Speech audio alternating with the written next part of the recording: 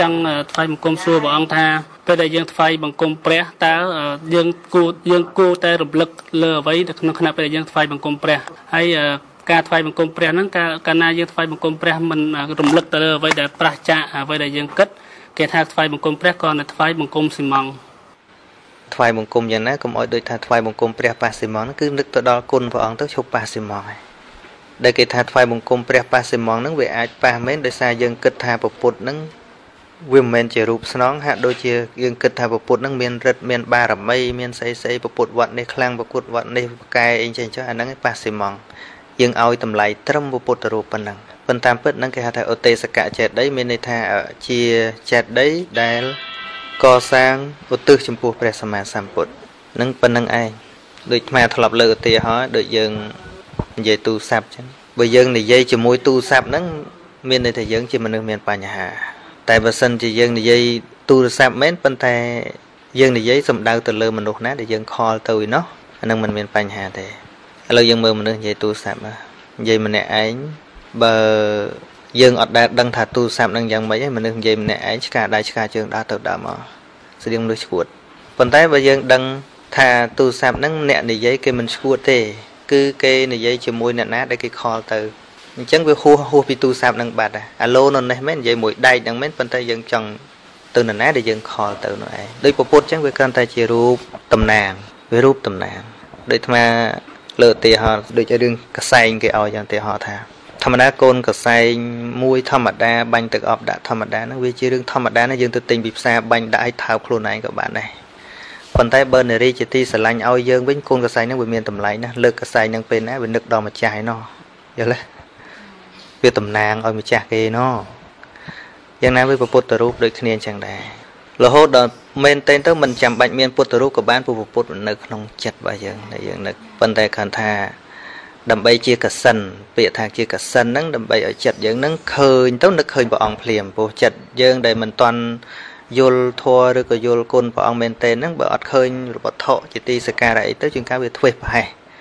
ចឹងទៅដល់ឃើញទៅយើងនឹកទៅដល់ព្រះអង្គតែប៉ុណ្្នឹងឯងហើយបើធៀបពិតបើមែនទេហ្នឹងមិនចាំបាច់ព្រះអង្គទេព្រោះសម័យព្រះអង្គអត់មានពុទ្ធរូប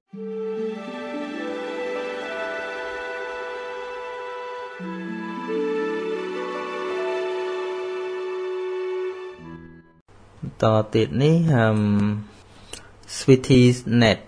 net តើយើងគួរធ្វើយ៉ាងណាទៅរៀនបំបត្តិចិត្តទោសៈមោហៈនិងមោហៈក្នុងចិត្តរបស់ខ្លួនឯងបានទៅ ហើយឧទាហរណ៍ឲ្យបន្តិចកុំព្យាយាមបំបត្តិព្យាយាមយល់ព្យាយាមដឹងព្យាយាមឲ្យចាស់កាលណាយើងកាន់តែចាស់ទុំយើងកាន់តែដឹងពុទ្ធប្រុសអ្នកមានឧបនិស្ស័យចាស់ខ្លាចាស់ដោយអីដោយឥន្ទ្រី5មានសទ្ធាវេរិយៈសតិសមាធិបញ្ញាឃើញទេធម៌នឹងចម្រើនបញ្ញាជាពិសេសគឺបញ្ញានឹងតែម្ដង សំបីតពាក្យលះក៏យើងជាប់ពាក្យទៀតអ្នកត្រូវលះចិត្តខឹងត្រូវលះលោភៈអានឹងយើងថាបើមិនយល់លះមិនដូចមកលើកឧទាហរណ៍ចឹងថា វាជាភ្លើងអាលោភៈទោសៈមោហៈហ្នឹងវាជាភ្លើងអញ្ចឹងព្យាយាមឲ្យយល់ព្យាយាមឲ្យយល់ពីធម្មជាតិពិតរបស់វាថាអឺវាភ្លើងមែនអត់ព្យាយាមឲ្យដឹងសិនចម្រើនបញ្ញារបស់យើងឲ្យទល់នឹងសភាវៈហ្នឹងថាតើវាជាភ្លើងមែនអត់ អញ្ចឹងទូនាទីរបស់យើងគឺសិក្សាពីសភាវៈហ្នឹងឲ្យពិតថាឃើញថាវាជាភ្លើងមែនហើយមិនបាច់ធ្វើអីទេឲ្យតែយល់ពិតប៉ុន្តែបើយើងដឹងមិនពិតឮតែគេថាថាអូភ្លើងហ្នឹងក្តៅយើងអត់ដែលស្គាល់ឧទាហរណ៍អញ្ចឹងយើងនៅតែច្រឡំប៉ះអញ្ចឹងគេថារបស់នឹងក្តៅទៅយើងមិនដែលប៉ះយើងនៅតែចង់សាកអញ្ចឹងនៅតែលាកអញ្ចឹងដូចកូនក្មេងយើងឃើញភ្លើងជាគៀងក្រហមក្រហមគាត់ចង់ទៅចាប់ ទោះបីយើងចាប់មិនតាន់ហ្នឹងជួនកាលគាត់ទៅចាប់លាកដៃលាកជើងអញ្ចឹងហ្នឹងហើយមិនបើគាត់ចង់ចាប់ហ្នឹងព្រោះគាត់អត់តាន់ដឹងថានឹងវាជាភ្លើងជិះពេលដែលគាត់ធំឡើងធំឡើងគាត់ដឹងគាត់មានបទពិសោធន៍ទៅធ្លាប់រលាកធ្លាប់អីចឹងទៅគាត់ដឹងគាត់ចង់ចាប់ទៀតទេ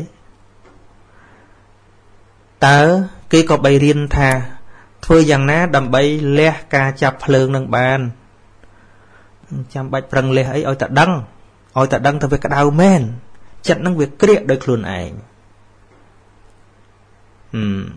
ឬឧទាហរណ៍នៅក្នុងឆ្នាំឧទាហរណ៍ថាក្នុងទឹកឃ្មុំនៅក្នុងទឹកឃ្មុំហ្នឹងវាមានថ្នាំពុលតែយើងអត់ដឹងហើយយើងវាឃ្លាន នៅក្នុងម្ហូបអាហារដ៏ប៉និតទាំងអស់ហ្នឹងមានជាតិគីមីមួយយ៉ាងដែលថាតាហូបទៅ4 10ថ្ងៃទៅស្លាប់ហ่ะវាមិនស្លាប់ភ្លាមទេ វាបានឆ្អែតវាបានឆ្ងាញ់មកពេលចឹងដែរវាអត់ស្លាប់ភ្លាមទេក៏ប៉ុន្តែយើងវាអត់ដឹងគេចេះតែឲ្យទៅយើងចេះតែហូបទៅចេះតែបរិភោគទៅ ទាំងមិនដឹងថាអាហ្នឹងវាមានថ្នាំពុលនៅក្នុងហ្នឹងទេក៏ប៉ុន្តែ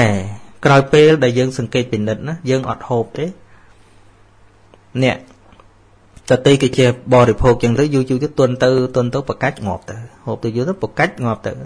នៅពេលដែលយើងដឹងច្បាស់អញ្ចឹងថានៅក្នុងហ្នឹងវាថ្នាំពុលហ្នឹងធ្វើទុកមែនថ្នាំពុលហ្នឹងវាអឺធ្វើឲ្យសត្វលោកហ្នឹងកើតទុក្ខវេទនាស្លាប់ចឹងមែននៅពេលហ្នឹងយើងអាចសួរអ្នកដតីទេថាតើធ្វើម៉េចដើម្បីឲ្យខ្ញុំឈប់ឈប់ឈប់ចង់បរិភោគអាហារនឹងបាន មានសំណួរនឹងទៀតទេអត់ទេ មានតែរកវិធីណាធ្វើម៉េចកុំឲ្យគេបខំខ្ញុំឲ្យហូប ឲ្យទៅចង់ហ្មងអត់ទេពីព្រោះដឹងពិតអញ្ចឹងការងាររបស់យើងគឺចម្រើនការដឹងដែលថាចម្រើនធនគឺមានចម្រើនអីគឺចម្រើនការដឹងដឹងអីគឺដឹងសភាវៈនឹងតាមសេចក្តីពិតឲ្យដឹងច្បាស់តែប៉ុណ្្នឹងតាឧទាហរណ៍ដូចយើងញៀនណាកិលេសកើតមកធ្វើឲ្យយើងញៀនលោភៈហ្នឹងវាមានគ្រឿងញៀនរបស់វាវាមានសោមនស្សនោះឧទាហរណ៍ទៅរំមកខ្ញុំសប្បាយឃើញទេគ្រឿងញៀនរបស់វាអានិសង្សរបស់វាធ្វើឲ្យយើងសប្បាយទៅដើរលេងចូលបារចូលអីទៅសប្បាយ អានិសង្សរបស់វាក៏ប៉ុន្តែវាបង្កប់នៅទុកទោសនៅក្នុងហ្នឹងទៅលេងលបែងអីចឹងដែរវាធ្វើឲ្យយើងញៀនធ្វើឲ្យយើងជាប់ងាយលះបានទេអឺឲ្យយើងជក់បរិយវាធ្វើឲ្យយើងស្រួលខ្លួននៅពេលដែលយើងបើកយើងហើតចូលទៅហ្នឹងអ្នកខ្លះទោះបីជាពេទ្យហាមមិនក៏គាត់ងាយឈប់ដែរណាដូចញោមខ្លះគាត់ថា រឿងអីលះបានរឿងពីរលះមិនបានគឺរឿងបរិយមួយរឿងស្រីមួយគាត់ថាអញ្ចឹងមកជីវិតនេះទល់ងាប់ប៉ុន្តែដល់ពេលគេឲ្យទៅពេទ្យញឹកញឹកពេទ្យជាថតបង្ហាញនេះសួតអសោះអស់ហើយតែមិនឈប់ងាប់ឥឡូវប៉ុន្តែពីដំបូងអត់ទេណាដាច់ខាតពោះវិញ្ញាណនោះប៉ុន្តែលើតែគេនិយាយអត់ទេมันអាចឈប់បានទេក៏ប៉ុន្តែកាលណាដឹងកាន់តែ ច្បាស់ឡើង គ្រោះថ្នាក់កាន់តែច្បាស់ឡើង អំពីទុកទោសនៃការជុបារីហ្នឹងហើយថែមទៅគេថតមកឲ្យច្បាស់កលែតសួតហ្នឹងប្រសោះអស់ហើយដឹងអញ្ចឹងចាំបាច់គេបខំឲ្យឈប់ទៀតទេគេគ្រាន់តែប្រាប់ទេតែមិនឈប់ងាប់ព្រោះសួតឡើងប្រសោះអស់ហើយឃើញទេអញ្ចឹងការដឹងច្បាស់ហ្នឹងល្អណាស់ល្អ ឆ្លៀតក្នុងឱកាសហ្នឹងក៏អាត្មាជម្រាបញាតិញោមយើងផងដែរថាឧស្សាហ៍ពិនិត្យសុខភាពកុំទុករហូតដល់ជ្រុលពេលណាព្រោះបើថាពិនិត្យទៅយើងឃើញទេប៉ុន្តែខណ្ឌថាយើងកុំតន់អាព្យាបាលក៏បានដែរហើយយើងរកដុកទ័រណាដែលយើងទុកចិត្តនៅពេលយើងដឹងសុខភាពយើងអីយើងលើសជាតិអីខ្វះជាតិអីលើសជាតិខ្លាញ់យើងត្រូវតមអីល្អ6ខែយ៉ាងយូរយើងទៅពិនិត្យម្ដង ខ្លាញ់ក្នុងឈាមអីអីចឹងណាជាជាងពេលដល់ឈឺធ្ងន់បានយើងអស់រាប់ពាន់រាប់ម៉ឺនដុល្លារតែម្ដងហ្នឹងហើយអឺកាលណាដឹងល្អស្អីក៏ដោយដឹងល្អអញ្ចឹងអាត្មាគ្មាន recommend ថាត្រូវទៅលះលះលោភៈទោសៈតែ recommend គឺចង់បញ្យល់ណែនាំថាព្យាយាមយល់ពី សភាពរបស់វានឹងឲ្យច្បាស់បន្តិចម្ដងបន្តិចម្ដងក្នុងជីវិតរបស់យើងហើយឲ្យឃើញថាវាជាទុកទោសមែនកាលណាវាកើតឡើងវាបំផ្លាញសុខភាពផ្លូវចិត្តរបស់យើងមែនឲ្យឃើញច្បាស់អញ្ចឹងច្បាស់បន្តិចម្ដងបន្តិចម្ដងហេរិអតបៈនឹងវាកើតឡើង ការខ្លាចរអាការរួញភាពខ្មាស់អៀនចំពោះអកុសលក្នុងចិត្តហ្នឹងវាចេះតែកើតឡើងឲ្យតែយើងព្យាយាមដឹងវាថាវាមិនល្អឧទាហរណ៍ថាឥឡូវមើលចិត្តវាបាក់មើលយើងសង្កេតមើលតែពាក្យសម្ដីរបស់យើងចោះ ឧទាហរណ៍អាត្មាកើតនៅក្នុងតកូលអ្នកស្រែចម្ការនៅស្រុកជនបទទេពីក្មេងនិយាយពាក្យអសរោះច្រើនណាតាមអ្នកស្រុកអ្នកអីដូចស្មាតោដូចពាក្យអាចអីហ៎អីចឹងណាពាក្យអញ្ចឹងក៏និយាយច្រើននិយាយលេងណាពាក្យគេខ្មាស់អីហ្នឹងក៏ច្រើនតែនិយាយលេងដែរប៉ុន្តែពេលយើងព្យាយាមមើលចូលចំណោមជំនុំគេមនុស្សអ្នកចេះដឹងអីអីគេមិនងាយនិយាយទេពាក្យអញ្ចឹងអញ្ចឹង ហើយយើងសង្កេតទៅមើលពាក្យហ្នឹងគ្រាមភាសាហ្នឹងលែងហ៊ាននិយាយអាហ្នឹងគ្រាន់តែពាក្យសម្ដីរបស់យើងខាងក្រៅភ្ញាក់អីកាលមុនភ្ញាក់សិតតែស្អីណាឆែបឆប់អីណាដល់យល់ទៅទេពាក្យហ្នឹងមិនសមដល់តែយើងយល់ថាវាអត់សមអត់សមអត់សមហើយហៅគ្នាអីសិតតែអានេះអានោះអញងែងហងអីចឹងធ្លាប់ចឹងក៏ប៉ុន្តែដល់យូរយូរនិយាយឡើងចេញលើនិយាយសំបីតែហៅប្អូនអីហ្នឹងហៅមីហៅហែងហៅងែងហ្នឹងហៅឡើងកើតហ្មង មកពីអីយើងយើងបានពិចារណាឃើញថាពាក្យហ្នឹងវាមិនសមឃើញទេឲ្យតែឃើញថាវាអត់សមយើងមានពាក្យផ្សេងសម្រាប់និយាយគ្នាបានតាហ្នឹងហើយដល់យូរយូរវា automatically យើងអត់ដែលព្យាយាមថាអូខ្ញុំទៅព្យាយាមលះអាពាក្យអាក្រក់ហ្នឹងចេញមិនបានបើយើងមិនតាន់ឃើញថាវាអាក្រក់ផងហ្នឹងហ៎បើយើងអត់តាន់ឃើញថាវាអាក្រក់ផងហ្នឹងទៅលះវាមិនបាន ចឹងបានមានប្រសូតមួយប្រសូតមួយព្រះអង្គនិយាយអីវែងឆ្ងាយមានពេលខ្លះព្រះអង្គលើករឿងហ្នឹងថាមនាភិក្ខុទាំងឡាយមកបើអឺអ្នកទាំងឡាយមិនអាច ដឹងចិត្តអ្នកដតីបានទេ លើកទុកសិនចុះ អ្នកទាំងឡាយមកមើលចិត្តរបស់ខ្លួនឯងវិញឃើញទេណាដូចថ្មនិយាយប្រធានបទអញ្ចឹងថាអឺពុទ្ធមានព្រះអង្គទាញឲ្យយើងមកមើលចិត្តខ្លួនឯងមានតែការតាមដានចាប់ចិត្តខ្លួនឯងទេដែលយើងអាចរកសុភមង្គលក្នុងជីវិតយើងបានយើងតាមចាប់អ្នកដតីចាំមិនអស់ទេមនុស្សប្រមាណលានមនុស្សប្រមាណកោតយើងចាំមិនអស់មួយនៅមួយមួយនៅមួយមួយនៅមួយវាច្រើនណាស់មនុស្សខុសគ្នាគិតខុសគ្នាមិនអស់ទេ បូបាច់ពីមនុស្សដតីនឹងមកជីវិតយើងនឹងក៏បូមិនអស់ដែរតែបើចាប់ខ្លួនឯងម្នាក់បាន គឺជាសន្តិភាពមួយដែលអ្នកដតីកម្ររកបានឃើញទេព្រះអង្គថាថាចេះថាមកបើយើងលំបាកមើលចិត្តអ្នកដតីមកមើលចិត្តខ្លួនឯងវិញពីមុនស្មានតែចិត្តខ្លួនឯងវាសនុកមើលបាននិយាយតែខំមើលគេហ្នឹងអានេះវិញចេះអានេះវិញចុះនេះវិញចេះ មនុស្សយើងភាកច្រើនគិតថាស្មានតែសនុកមើលខ្លួនឯងណាព្រះអង្គថាខ្លួនឯងនឹងហើយដែលលំបាកយកឈ្នះជាទីបំផុតប៉ុន្តែព្រះអង្គឲ្យមើលមានកលឹះមានកលឹះព្រះអង្គថាណែឧទាហរណ៍អញ្ចេះអាការមើលខ្លួនឯងនោះឧទាហរណ៍អញ្ចេះ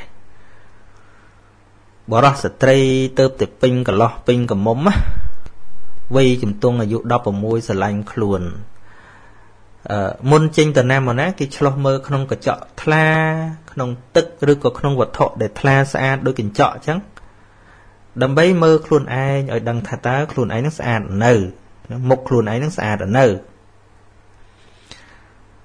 មិនពីខកទាំងឡាយចុះបើសិនណាបើសិនជាមើលចឹងទៅស្រាប់តែឃើញមន្ទិលនៅត្រង់ណាមួយនៃមុខរបស់គេតើ អ្នកដែលស្រឡាញ់ខ្លួននោះក៏បីធ្វើម៉េចបើសិនជាឃើញថាវាជាមន្ទិលជាប់ប្រឡាក់នឹងមុខត្រង់ផ្នែកណាមួយនៃមុខឬក៏ច្រើន ផ្នែកនៃមុខរបស់ខ្លួនហ្នឹងបបិទ្ធព្រះអង្គដែលចម្រើនបរោះស្ត្រីដែលស្រឡាញ់ខ្លួននោះ កាលណាបើឃើញមានរបស់មន្ទិលជាប់នៅលើមុខដូច្នោះគេប្រកាសជាលៀងជំរះចេញហើយព្រះអង្គឃើញទេពពុទ្ធបង្រៀនយើងឲ្យតែមើលឯងឲ្យតែមើលឲ្យឃើញថាវាកក្រិចមែនអត់ ហើយនៅពេលដែលយើងឃើញថាកិលេសហ្នឹងកក្រិចមែនហើយលោភៈទោសៈមោហៈហ្នឹងកក្រិចមែនហើយពពុទ្ធមិនបាច់ប្រាប់ថាលះចោលទៅពពុទ្ធអត់ប្រាប់អញ្ចឹងឯងព្រោះពេលហ្នឹងបញ្ញារបស់យើងកើតឡើងនឹកពីទាកើតឡើង ការលះវិមុតតិហ្នឹងវាលះចេញពីចិត្តរបស់យើងហ្នឹងណាពពុទ្ធអត់មានចាំបាច់ប្រាប់ទៅណាលះវាទៅ no ឲ្យដឹងឲ្យដឹងស្មើគ្នាអញ្ចឹងដូចឧទាហរណ៍យើងឃើញមនុស្សប្រឡាក់អញ្ចឹងយើងមិនដឹងទៅចាប់មនុស្សលៀងមិនទេ យើងយ៉ាងច្រើនយើងប្រាប់ថាមុខប្រឡាក់ហើយឆ្លោះកញ្ចក់មើលទៅដឹងទៅប្រឡាក់ហ្នឹងចិត្តល្អប្រាប់ប៉ុណ្ណាអូមុខប្រឡាក់ជូងឯងយើងដូចមិនបាច់ប្រាប់ថាលៀងចេញទៅដូចមិនបាច់ប្រាប់ឯងមនុស្សពេញវ័យវាលេងតកូនក្មេងបើកូនក្មេងចាំយើងឃើញអញ្ចឹងយើងចាប់យកទៅលៀងចេញទៅប៉ុន្តែយើងមនុស្សធំធំអស់ហើយដូចមិនបាច់ពីណាណែលះតោសៈចេញទៅលះលោភៈចេញទៅកុំលោភលន់ពេកអាពាក្យហ្នឹងបានទៅថាទេបើម្ចាស់ខ្លួនមិនដឹងថាតោសៈហ្នឹងវាយ៉ាងម៉េចលោភៈហ្នឹងវាយ៉ាងម៉េចអញ្ចឹងមក recommend សំណូមពរថាឲ្យរៀនខ្លះរៀនខ្លះ basic ពីខាងក្រោមហ្នឹងរៀនខ្លះដើម្បីឲ្យដឹងឲ្យបានបន្ទាត់ឋាននៃការគិតពិចារណា ដើម្បីឲ្យឃើញច្បាស់ហ្នឹងហើយហ្នឹងហើយដូចឥឡូវអាត្មាសួរសាកមើលអ្នកស្ដាប់ទាំងឡាយហ្នឹងបើសិនយើងអង្គុយមុខអាត្មាអញ្ចឹងហើយអាត្មាក៏ឥឡូវយើងកុំនិយាយដល់ផ្លូវចិត្តនិយាយតែផ្លូវមុខរបស់យើងផ្លូវរាងកាយរបស់យើងណាថាអញញោមប្រឡាក់ឈូងមុខ កាន់មកប្រាប់ប៉ុណ្ណឹងយើងធ្វើម៉េចទោះបីជឿមិនជឿអីក៏ទៅមើលកញ្ចក់ដែរមែនណាហើយបើឥឡូវអាសួរមកសំណួរទៀតបើញោមកលេចទៅមើលកញ្ចក់ទៅស្រាប់តែឃើញប្រឡាក់ឈូងមកមកដុំប៉ុណ្ណឹងមែនហើយអាប្រាប់ថាញោមមិនបាច់លាងចេញទេព្រមតាមអាត្មាដែរនៅពេលដែលឃើញមុខប្រឡាក់ជូរឲ្យញោមបំរុងចេញទៅក្រៅអាត្មាប្រាប់ថាញោមជូងប្រឡាក់មុខហើយ មុខញោមប្រឡាក់ដោយជូងហើយហើយញោមក៏មើលកញ្ចក់មែនអាកន្លែងមើលកញ្ចក់ដូចយើងមានសតិឆ្លុះមើលចិត្តខ្លួនឯងចឹងអឺឥឡូវនិយាយកំតត់ដល់ចិត្តនិយាយត្រឹមមុខឯងញោមទៅមើលកញ្ចក់ទៅឬក៏យកដៃប៉ាតចេះមកក៏ឃើញប្រឡាក់ជូងមែនហើយអាត្មាប្រាប់ថាញោមទុកអញ្ចឹងឲ្យស្អាតមិនលាងចេញទេព្រមឯងឆ្លើយម៉ាត់មើលអ្នកស្ដាប់បើដឹងច្បាស់អញ្ចឹងហើយ ដឹងច្បាស់ថាមុខប្រឡាក់ជូងហើយញោមទុកអត់មកថាលើញោមដោយការរាប់អានគ្នាញោមកុំកុំលៀងចេញអីទុកសមាមប៉ាអញ្ចឹងដើរទៅកាត់ផ្សារទៅព្រមទុកអញ្ចឹងអត់អត់នឹងចម្លើយគឺអត់អញ្ចឹងចាំបាច់ទេដែលអាត្មាប្រាប់ថាញោមលៀងចេញទៅអញ្ចឹងអាពាក្យថាឲ្យញោមលៀងចេញទៅនឹងចាំបាច់ទេចាំបាច់ប្រាប់អញ្ចឹងទៀតទេ នៅនេតិហ្នឹងនេតិសួរសំណួរឲ្យអ្នកឆេងផុននេះសួរទៅសួរបានអត់សួរទៅស្មានមានពេលឆ្លើយពងឆ្លើយហ្នឹងហ្នឹងហើយអញ្ចឹងបានសរុបមកវិញថាកិលេសនេះណាគ្រូណាមកប្រាប់ថាអ្នកឯងត្រូវលះលោភៈអ្នកឯងត្រូវលះទោសៈអ្នកឯងត្រូវលះមោហៈពេលអង្គនិយាយឲ្យតែព្រោះឯងបើអ្នកនោះគ្មានសមត្ថភាពពន្យល់ឲ្យឃើញថាអានឹងវាជាទុកជាទោសមែនតែនទេ ឈ្មោះថាអ្នកនោះនិយាយធូរនឹងឲ្យតែព្រោះទេពីព្រោះអីកិលេសមិនអាចនរណាលះឲ្យនរណាបានទេទល់តែខ្លួនឯងយល់បានលះបានហ្នឹងហើយចឹងប៉ុណ្ណឹងតទៅទៀត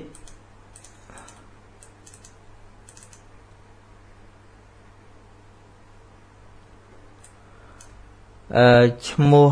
សិតអសមាន4ពីលើនេះប្រហែលជានៅកម្ពុជាក្រោមតែមើលមានមួកពីលើអឺសូត្រថា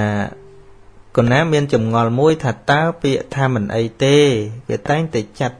ទុកថាជាការប្រមាថដែរឬទេកណាចឹងសួរលោកគ្រូជួយបំភ្លឺឲ្យខ្ញុំកណាហាមិនអីទេ មិនអីទេចង់និយាយរឿងអីប្រមាទមិនទៅព្រោះប្រមាទវាមានពីរប្រមាទនឹងតោប្រមាទនឹងថប្រមាទថៈហ្នឹងប្រហែលតែមើលងាយអញ្ចឹងនិយាយថាមិនអីទេប្រមាទរឿងអីអឺបើយើងធ្វើប្រហែសអញ្ចឹងដូចការងារត្រូវធ្វើអញ្ចឹងអឺមិនអីទុកសិនណាអាហ្នឹងប្រមាទមែនណាធ្វើប្រហែសមិនអីចាំខ្ញុំធ្វើទុកសិនណា បើមិនអីទេក្នុងន័យហ្នឹងអាហ្នឹងឈ្មោះប្រមាទក្នុងការប្រហែសកិច្ចការងារប៉ុន្តែសួរកន្លែងនេះប្រមាទនឹងថនេះចាត់ជាការប្រមាទដែរឬទេប្រមាទរឿងអីមើងងាយណាគេអាថ្មមិនយល់ដែរ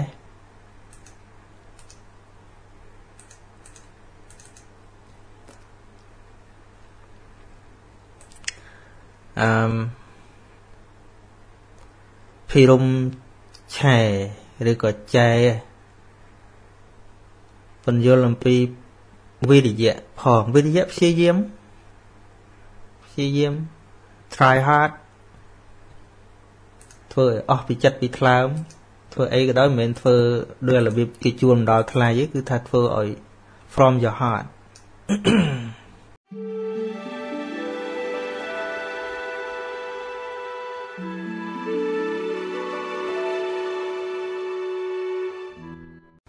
ញេរិនចានីលដឹងអានត្រូវអត់ទេអឺតើការទទួលអបសតសិលអាចផ្លោះបានដែរឬទេឧទាហរណ៍ថាការទទួលការបដិបត្តិបដិជាករៈមុនបកតិអបសតមួយទៀតពេលរវល់តើណាអើតាមពេលទៅពេលណាធ្វើណាក៏ធ្វើទៅអត់មានគងចង្វាក់មើលរម៉ូតូចង្វាក់ម៉ូតូបើគោគ្នាទៅមុខមិនរួចអីទេស្រេចតែយើង ចង់បដិជាករៈចង់បកតិចង់បារិហារយៈអីឲ្យតែយើងមានពេលធ្វើអីក៏បានអត់អីថនថនអ៊ីវអឺសុំសួរថាអ្នកស្លាប់អាយុ20ស្លាប់បែបនេះឈ្មោះថាស្លាប់ក្នុងវ័យជារាដែរទេអានឹងស្លាប់ក្នុងយុវវ័យពវ័យយើងចែកជាបឋមវ័យមជ្ឈិមវ័យនិងបច្ឆិមវ័យអានឹងដោយបញ្ញត្តិណា អឺយើងចែកជា3ជាមជ្ឈមភាពរបស់យើង គឺសម័យបច្ចុប្បន្ននេះបឋមវ័យហ្នឹងគឺវ័យកើតរហូតដល់25ហើយវ័យកណ្ដាលគឺ26ដល់50វ័យចុងក្រោយពី51ដល់75នឹងចែកជាមជ្ឈមភាពតាមការកន្លងទៅនៃពុទ្ធសាសនា បើសម័យពុទ្ធបឋមវ័យគឺអឺ ពីខ្ទង់កើតទៅដល់30ជាងណា30ជាងហើយអឺមជ្ឈិមវ័យរហូតទៅដល់ខ្ទង់70ហើយបច្ឆិមវ័យទៅដល់100ណាពីជាងចិត្តទៅដល់អឺក្រោមចិត្តបន្តិចទៅដល់100ពួក100ចែកជា3ទៅអឺ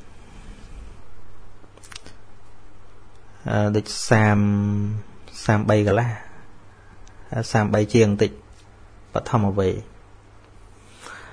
ប៉ុន្តែលោកចែកអញ្ចឹងបានអាយុសត្វយើងរៀងរាវទៅរាវទៅដោយសារពេលវេលាកន្លងទៅមនុស្សប្រមាថកាន់តែច្រើនកិលេសកាន់តែច្រើនអញ្ចឹងទៅអាយុនឹងក៏វាខែចុះមកតាមលំដាប់ហើយគិតគិតទៅវាត្រូវបាទត្រូវដែរសច្ចភាពតថភាពហ្នឹងយើងសួរអឺ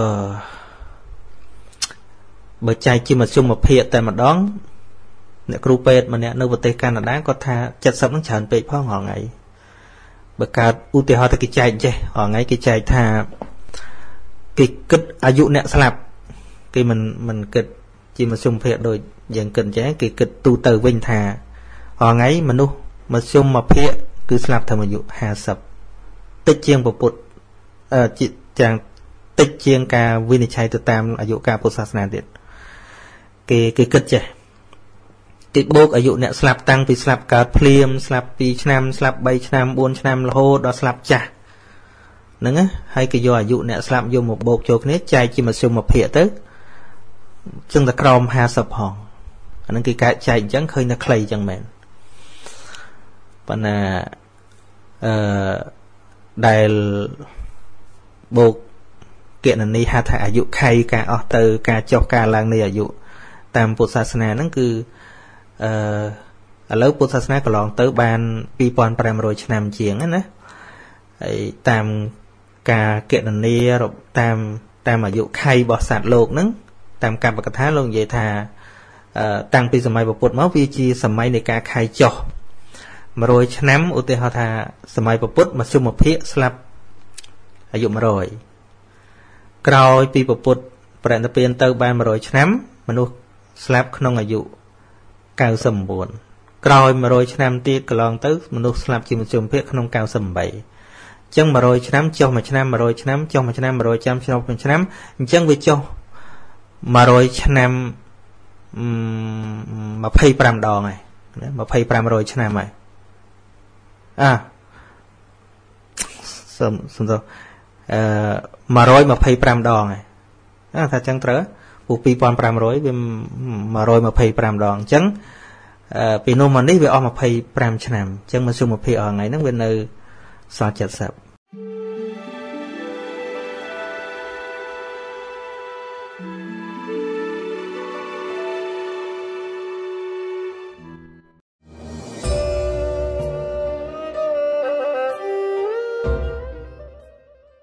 ចុងក្រោយទៅជាទឹក ជាភ្លើងជាខ្យល់ជាដីវិញទាំងអស់ចឹងមិនអាត្មាដាក់ថាមរតកជីវិតហ្នឹងប៉ុណ្ណឹងប៉ុណ្ណឹងមានអីហើយចង់នរណាធ្វើអីទៅធ្វើទៅចង់នរណាបានអីមកពិភពលោកនេះក៏បានទៅឃើញទេអត់ខ្វល់អត់អីទៀតទេអស់ហើយមានអីអត់បាន100ឆ្នាំផងហ្នឹងហើយយើង ឥឡូវនេះដូចថ្មអីខ្សែផ្លាយហើយដឹងប្រហែលឆ្នាំទៀតវាមិនប្រកាសថាត្រូវបាន70 80អីអត់ទេជីវិតហ្នឹងចង់ក្រោយប៉ុណ្ណឹងចង់ដាក់លុយធនាគារនោះស្វីសឬក៏នៅឯណាក៏ចាយលេងកើតតែប៉ុណ្ណាមានវិឡា10 20 30ក៏មិនដែលចុងក្រោយដេកមឈូស2 3តែប៉ុណ្ណា អាដេកហ្នឹងគេដាក់ឲ្យទៀតបើគេមិនដាក់ឲ្យអត់ទៅទៀតរូបកាយហ្នឹងក៏វាមិនដឹងថាគេដាក់ឲ្យផងស្ដុកស្ដឹងប៉ុន្តែពេលនៅរស់ធ្វើដូចមែនតែនអញ្ចឹងណាសត្វលោកយើងពេលនៅរស់ពេលដែលទាំងហើមតន់អស់ហ្នឹងធ្វើដូចមែនតែនអញ្ចឹងមើលខ្លួនយើងទាំងអស់ទាំងអាត្មាទាំងអីមានពេលខ្លាំងធ្វើដូចមែនតែន បានរៀនសូត្រទៅចេះដឹងទៅឲ្យងារនេះឲ្យងារនោះទៅប្រកាន់ធ្វើដូចមែនតែនអញ្ចឹងធ្វើដូចមែនតែនអញ្ចឹងជាងក្រោយមកអត់ទៅវិញអត់ដដែលទាំងអស់គ្នាហើយជាការពិតរឿងហ្នឹងថ្មនិយាយអញ្ចឹងដូចដូចទីសម័យនេះមកនិយាយអញ្ចឹងសម័យហ្នឹងវានៅងាប់ដដែលសម័យណាវាងាប់នៅដដែលហ្នឹងវានៅអត់ដដែលទៅវិញអត់ដដែលអញ្ចឹងហើយបាន សច្ចធម៌ដែលព្រះសម្មាសម្ពុទ្ធព្រះអង្គត្រាស់ដឹងហើយយកមកត្រាស់សម្ដែងហ្នឹងគឺនៅដដែលចង់តែឯងកាយប្រែស្អីក៏នៅតែប៉ុណ្្នឹងដដែលវិជាសាស្ត្រទៅដល់ឋានប្រច័នទៅដល់ឋានណាក៏នៅតែដដែលកំណត់បានប៉ុណ្្នឹងកំណត់បានប៉ុណ្្នឹងកំណត់បាន នឹងមរតកហ្នឹងអាអ្នកដាក់ទេប៉ុន្តែមែនតែនទៅវាអត់ទាំងសល់អីទៅទៀតដីភ្លើងខ្យល់ដែលថានៅសល់ហ្នឹងយើងនៅរស់អ្នកថាទេប៉ុន្តែអ្នកស្លាប់ក៏អត់ដឹងថាសល់អាហ្នឹងទៅទៀត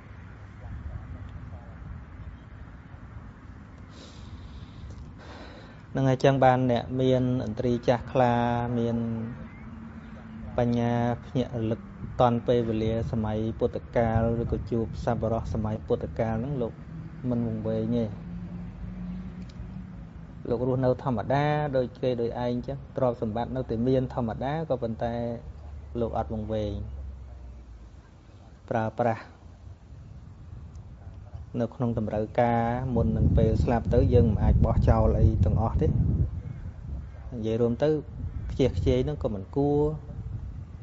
យកទៅលេងលបែងហ្នឹងក៏មិនគួរត្រូវប្រើឲ្យត្រឹមត្រូវប៉ុន្តែនៅក្នុងសតិស្មារតីនៅប្រើធម្មតាប៉ុន្តែមិននៅក្នុងអំណាចនៃទាស័ករបស់កិលេសចឹងបានការបរិភោគរបស់អ្នកបួសនេះគឺមាន3លក្ខណៈ ទី1ហៅថាអ៊ីណបរិភោគអ៊ីណបរិភោគបរិភោគដោយជាប់បំណុលបរិភោគក្នុងទីនេះគឺប្រែថាប្រើប្រាស់មិនតែលេបចូលទៅក្នុងមាត់ទេនឹងពងកទេប្រើប្រាស់របស់របរសេនាសនៈផ្ទះសំបែង សពគ្រប់ដែលយើងប្រើប្រាស់ហ្នឹងហៅថាបរិភោគបរិភោគវាចែកជា2គឺបរិភោគចូលទៅក្នុងអច្ឆតិកៈបរិភោគហើយនិងពេហរៈបរិភោគអច្ឆតិកៈបរិភោគគឺបរិភោគចូលទៅក្នុងរាងកាយរបស់យើងដោយការទំពាបរិភោគប្រើប្រាស់សម្លៀកបំពាក់របស់ប្រើប្រាស់ខាងក្រៅផ្ទះសម្បែងឡានវិឡា ចានឆ្នាំងកតេលភុងមុងភួយខ្នើយហ្នឹងការប្រើប្រាស់ហ្នឹងហៅថាពាហិរៈបរិភោគបរិភោគរបស់ខាងក្រៅហ្នឹងហើយអញ្ចឹងព្រះអរិយៈក៏លោកនៅតែបរិភោគធម្មតា ប្រើប្រាស់ធម្មតាដូចសេដ្ឋីសម័យពុទ្ធកាលអញ្ចឹងមិនមែនថាយល់ធោះចុះទៅដេកដីទៅឈប់ដេកលើផ្ទះ ថាទេរាងកាយហ្នឹងវាត្រូវការសំបីតអ្នកបួសហ្នឹងក៏ត្រូវការសេនាសនៈក៏ត្រូវការស្បង់ជីវរហ្នឹងដើម្បីរុំកាយហ្នឹងដែរពីព្រោះកាយហ្នឹងវាដូចជាសដូចជារបួសដូចជាបោសចឹងត្រូវតែព្យាបាលវាតែនៅក្នុងសតិស្មារតីក៏ប៉ុន្តែនៅក្នុងការបរិភោគណាដោយអំណាចតណ្ហាដោយការពងវែងដោយការជាប់ជំពាក់ ការបរិភោគនោះហៅថាអ៊ីណបរិភោគអ៊ីណបរិភោគអ៊ីណនឹងប្រែថាបំណុលបំណុលក្នុងទីនេះគឺបំណុលតណ្ហាគ្រាន់តែយើងប្រើប្រាស់សម្បត្តិខ្លួនឯងសោះហ្នឹងតែអត់មានសតិស្មារតីក្នុងការប្រើប្រាស់ដោយការលមោបលោភលន់ដោយតណ្ហាហៅថារសៈតណ្ហាឬក៏តណ្ហាក្នុងការប្រើប្រាស់ហ្នឹងជាប់ជាពាក់បំណុលតណ្ហា មិនបាច់ទៅបរិភោគរបស់គេទេបរិភោគតែរបស់ខ្លួនឯងហ្នឹងក៏ប៉ុន្តែដោយសេចក្តីវង្វេងវាមិនមែនជានៅជាការនៅក្នុងតម្រូវការណាការបរិភោគបែបហ្នឹងហៅថាអ៊ីណបរិភោគ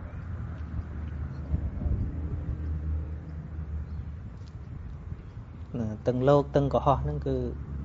មានដូចគ្នាអញ្ចឹងវាជាប់ហើយដែរបានវាទៅជាបរិភោគដោយជាប់បំណុលពីព្រោះយើងសាងកម្មថ្មី ដោយអំណាចតណ្ហាហ្នឹងកាលណាតណ្ហានេះវាកើតឡើងជាប់មិនស្អីវាជា cause of suffering វាជាអឺហេតុនាំឲ្យកើតទុក្ខទៀតដែរអញ្ចឹងបានជានៅក្នុងការបរិភោគប្រើប្រាស់ហ្នឹងពិសេសអ្នកបួសនេះព្រះអង្គឲ្យពិចារណាក្នុងការពិចារណានេះមានប្រយោជន៍ច្រើនណាញាតិញោមញាតិញោមក៏អាចយកទៅពិចារណាបានដែរកុំឲ្យចាញ់បោកការបរិភោគណា ពីព្រោះទិសដៅនៃការបរិភោគហ្នឹងមាន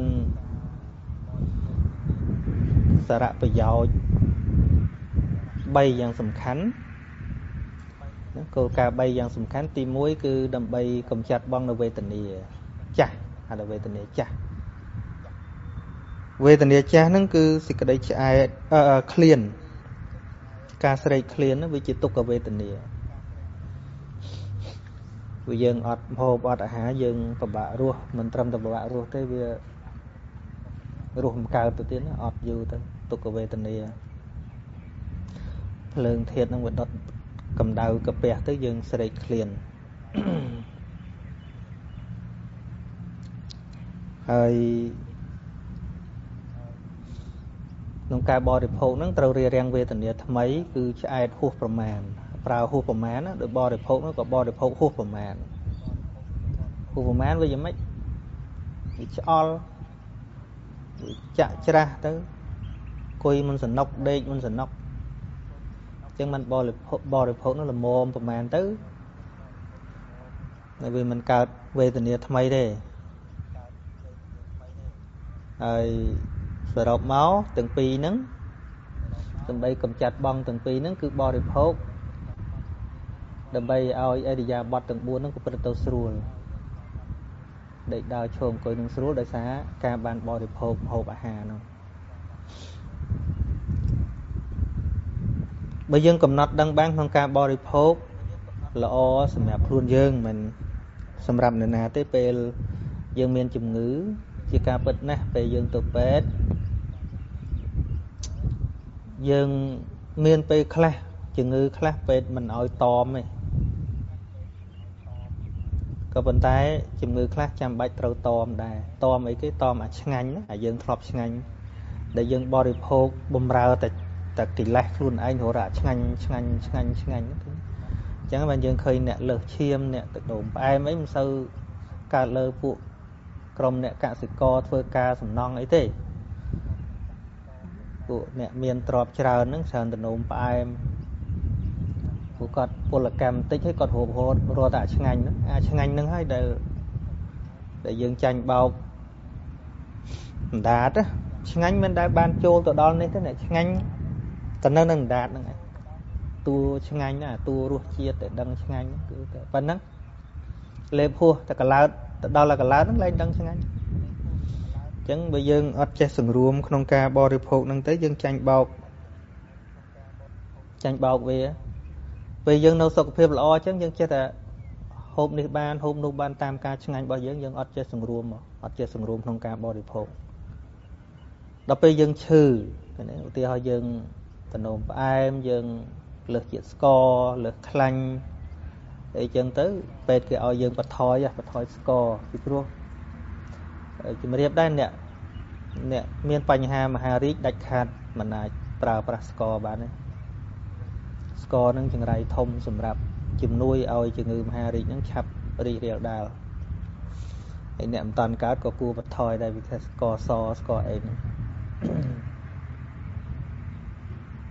ដុកទ័រម្នាក់គាត់និយាយចឹងថាគ្មានមនុស្សណាម្នាក់ដែលស្លាប់ដោយជំងឺមហារីកទេក៏ប៉ុន្តែស្លាប់ដោយសារតែបរិភោគស្ករព្រោះស្ករហ្នឹងវាជាប្រភពនាំឲ្យជំងឺមហារីកហ្នឹងរីករាលដាលលឿនទីបំផុត ហើយយើងឆ្ងាញ់ឆ្ងាញ់អាផ្អែមផ្អែមឆ្ងាញ់ស្ករហ្នឹងគឺគ្រោះថ្នាក់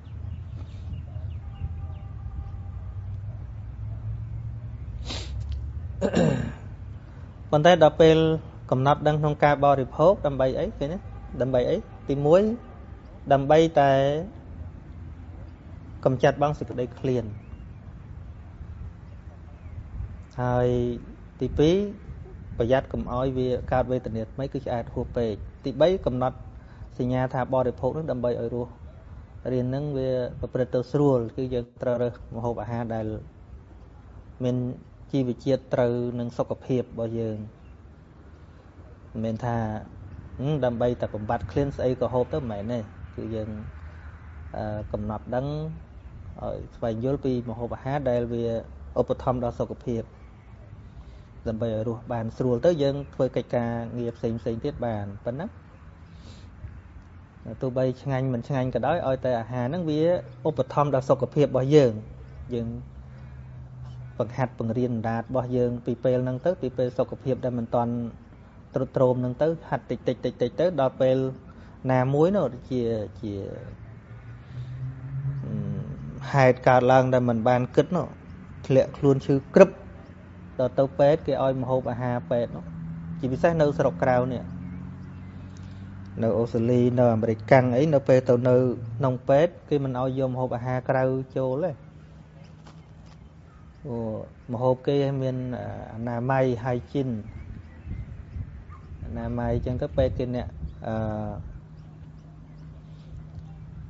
ទទួលខុសត្រូវអ្នកជំងឺនឹងហើយដល់ ចាស់ចាស់យើងមកពីស្រុកខ្មែរគាត់ឆ្ងាញ់តែប្រហុកឆ្ងាញ់តែអីគេលែងឲ្យហូបហើយប្រហុកអីហ្នឹងវាជំនួយដល់ជំងឺហ្នឹងណាមិនជំនួយសុខភាពទេវាជំនួយដល់ជំងឺហ្នឹងឯងឲ្យវាឆាប់ដែលយើងធ្លាប់តែឆ្ងាញ់យើងចាញ់បោកឆ្ងាញ់ដល់គេដាក់អំហូបបោះបរទេសមកដលងទៅអីទៅប៉ិប៉ិអីចឹងទៅយើងលេបវាមិនចូលដោយសារអីយើងធ្លាប់ចាញ់បោកអណ្ដាតហ្នឹងយូរហើយហើយដល់ដល់តែឈឺអណ្ដាតហ្នឹងកាន់តែ កាន់តែវីវកាន់តែវីវយើងអត់ធ្លាប់សង្រួមវា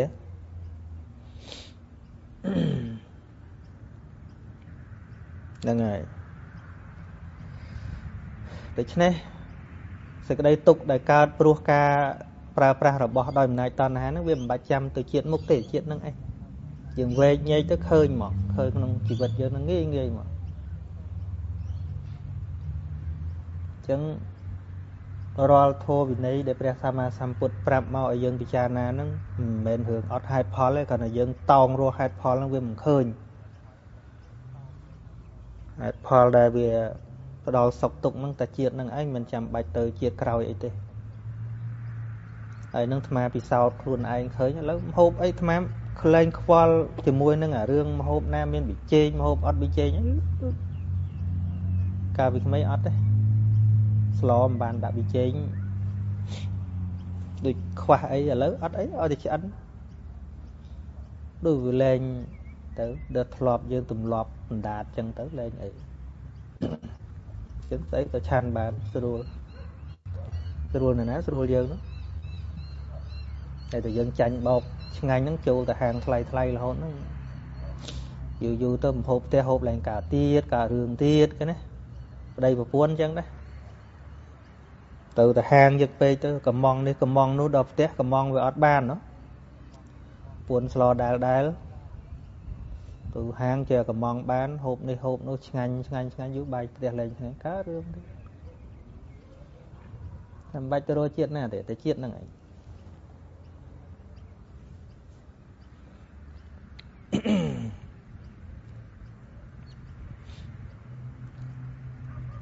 ហើយបរិភោគមួយទៀត ហៅថាទាយច្ចៈបរិភោគបរិភោគដោយការពិចារណា ជាវិខសង្ឃហ្នឹងហៅថាទាយច្ចៈបរិភោគ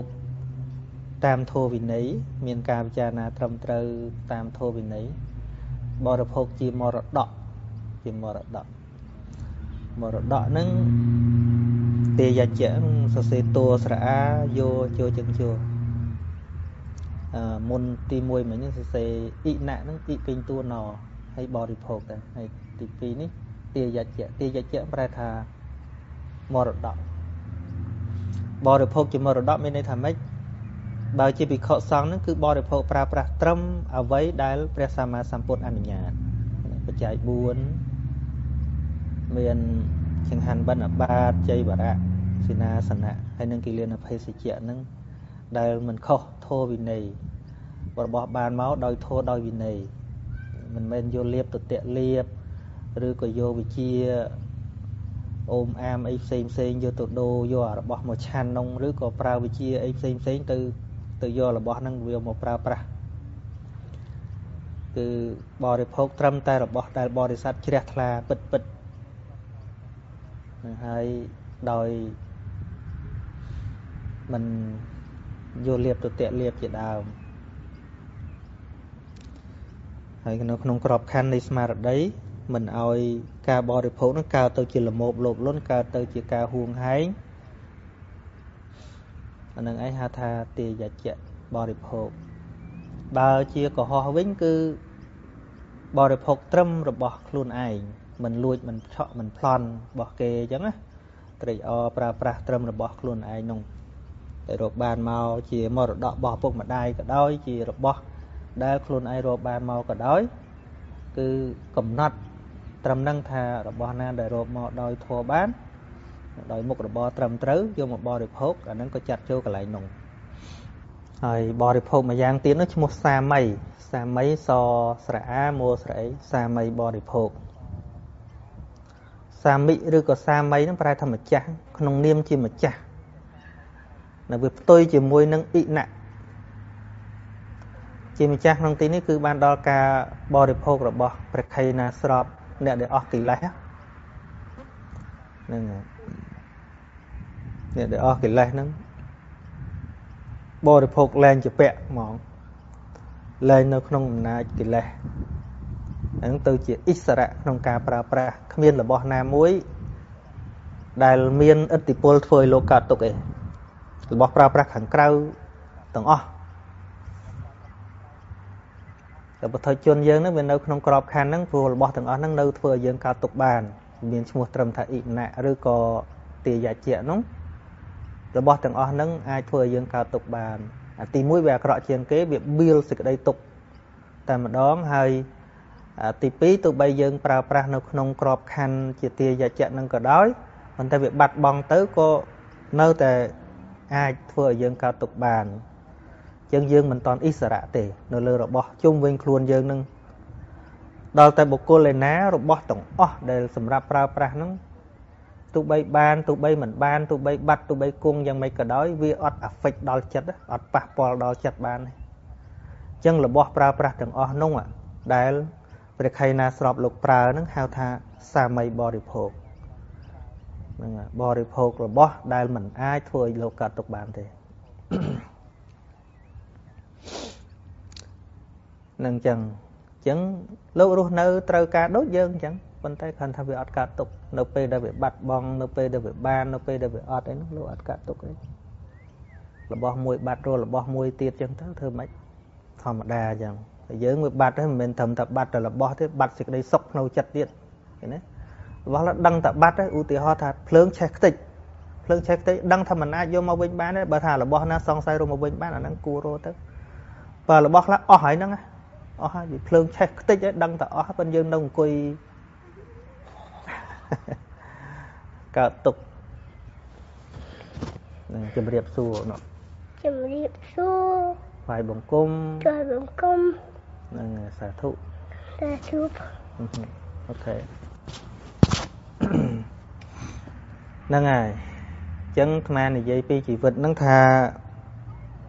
នៅពេលដែលយើងនៅរស់ហ្នឹងយើងធ្វើដូចមែនតែនអាដូចមែនតែនហ្នឹងគឺសំដៅដល់អាទី1ទី2នេះទី1ភាគច្រើនទៅទី1បានរបស់មកវែងអួតគ្នាទៅអឺបង្ហាញគ្នាទៅថាក្រន់បើដោយសាររបស់ខាងក្រៅហ្នឹងទៅអាត្មាមើលមិញមានភ្នោរបស់អិសរាជជនធំធំក៏នៅនឹងដែរ ក៏ភ្នោរៀងធំជាងបន្តិចអឺគេធ្វើស្អាតជាងមនុស្សធម្មតាបន្តិចប៉ុន្តែអ្នកទាំងអស់នេះសិតតែអត់ដឹងអីទាំងអស់ចប់ហើយមានវិណាយកទៅធ្វើប្រធាននេះទៅប្តីឬក៏ប្រធានរដ្ឋអីទៀតទេអស់អស់លេងហើយមាននៅទេអញ្ចឹងបានមុនយើងនឹងយើងមកនៅក្នុងពិភពលោកនេះយើងអត់មានអីក្នុងលោកនេះវត្តមានហ្នឹង50 60ឆ្នាំ100ឆ្នាំក្រោយក៏អត់មានយើងដដែលយើងក៏អត់អីដែរ មិនមែនបាត់ពិភពលោកទេ យើងអ្នកបាត់ពីពិភពលោកធម្មជាតិពិភពលោកនេះវាធម្មតាទៅចឹងឯងនឹកល្អមនឹកអាក្រក់ឆ្លៀនពៀនគ្នាកັບចាក់ជេរបចោតែចឹងពិភពលោកនោះតែចឹងយើងមកសម្អាតពិភពលោកនេះមិនកើតទេព្រោះយើងគ្រាន់តែជាកំតិចផង់ល្អិតមួយនៃពិភពលោកប៉ុណ្ណោះពុទ្ធមកក៏សម្អាតមិនកើតដែរ ព្រោះមនុស្សវាជាប់ដោយតណ្ហាទិដ្ឋិមាននេះហ្នឹងគ្រប់តែគ្នាអញ្ចឹងមកធ្វើម៉េចអញ្ចឹងបានប្អូនម្នាក់គាត់ឆ្ងល់ថាចុះពុទ្ធកើតនៅឥណ្ឌាហើយចុះឥណ្ឌាគេយ៉ាប់យ៉ាប់យ៉ាងនេះប្រពៃណីរុំពាត់ទំនៀមទម្លាប់នឹងមហាចក្រស្រេះបាត់ធัวពុទ្ធនាអស់ទៅអាត្មាថាត្រូវហើយ ដោយសារប្រពៃណីរុំពាត់ហ្នឹងហើយបើវារួបរឹតមកវិញបាត់ធัวលីងហ្នឹងព្រោះមនុស្សយកការយល់ដឹងយកមកសិក្សាធัวចេះបាត់អញ្ចឹងបានប្រពៃណីតែខ្លាំងពេករុំពាត់ពេកវាបាត់បញ្ញាហើយតួ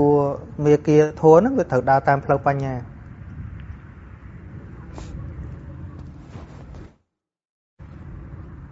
បើឥណ្ឌាមិនប្រពៃណីចាក់ស្រេះខ្លាំងក៏មិនបាត់ធัวដែរតែប្រពៃណីចាក់ស្រេះខ្លាំងបាត់ហើយធัวហ្នឹងមិននៅទេពួកគេធ្វើតាមតែទម្លាប់គេមិនយកការយល់ដឹងអីហើយធัวពុទ្ធដល់បើកភ្នែកបញ្ញាមិនយល់បានហើយចុះបើមិនបើកភ្នែកផងហ្នឹងមើលមិនឃើញមិនឃើញតម្លៃ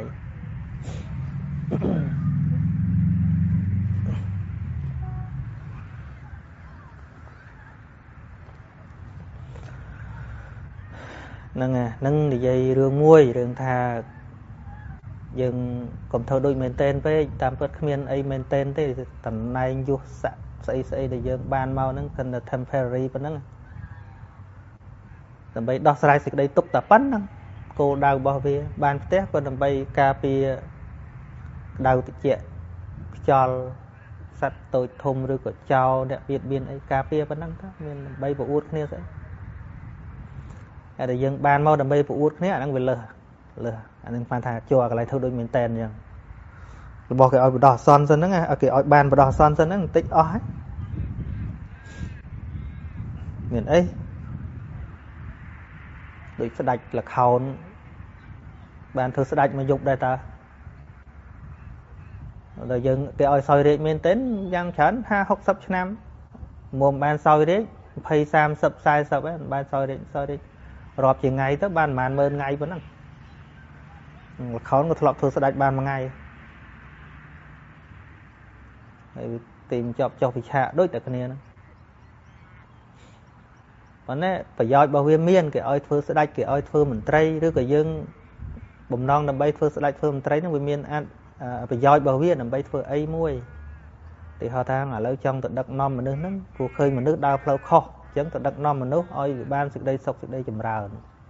អាហ្នឹងគោលដៅនៃតមន្ត្រីហ្នឹងប្រយោជន៍តែហ្នឹងទេវាមិនយកទៅពង្អួតគ្នាស្អីទេតែយកតំណែងយកយុស័កទៅពង្អួតគ្នា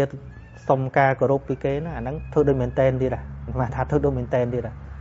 គេចូលដល់កន្លែងរឿងដែលមិនគួរ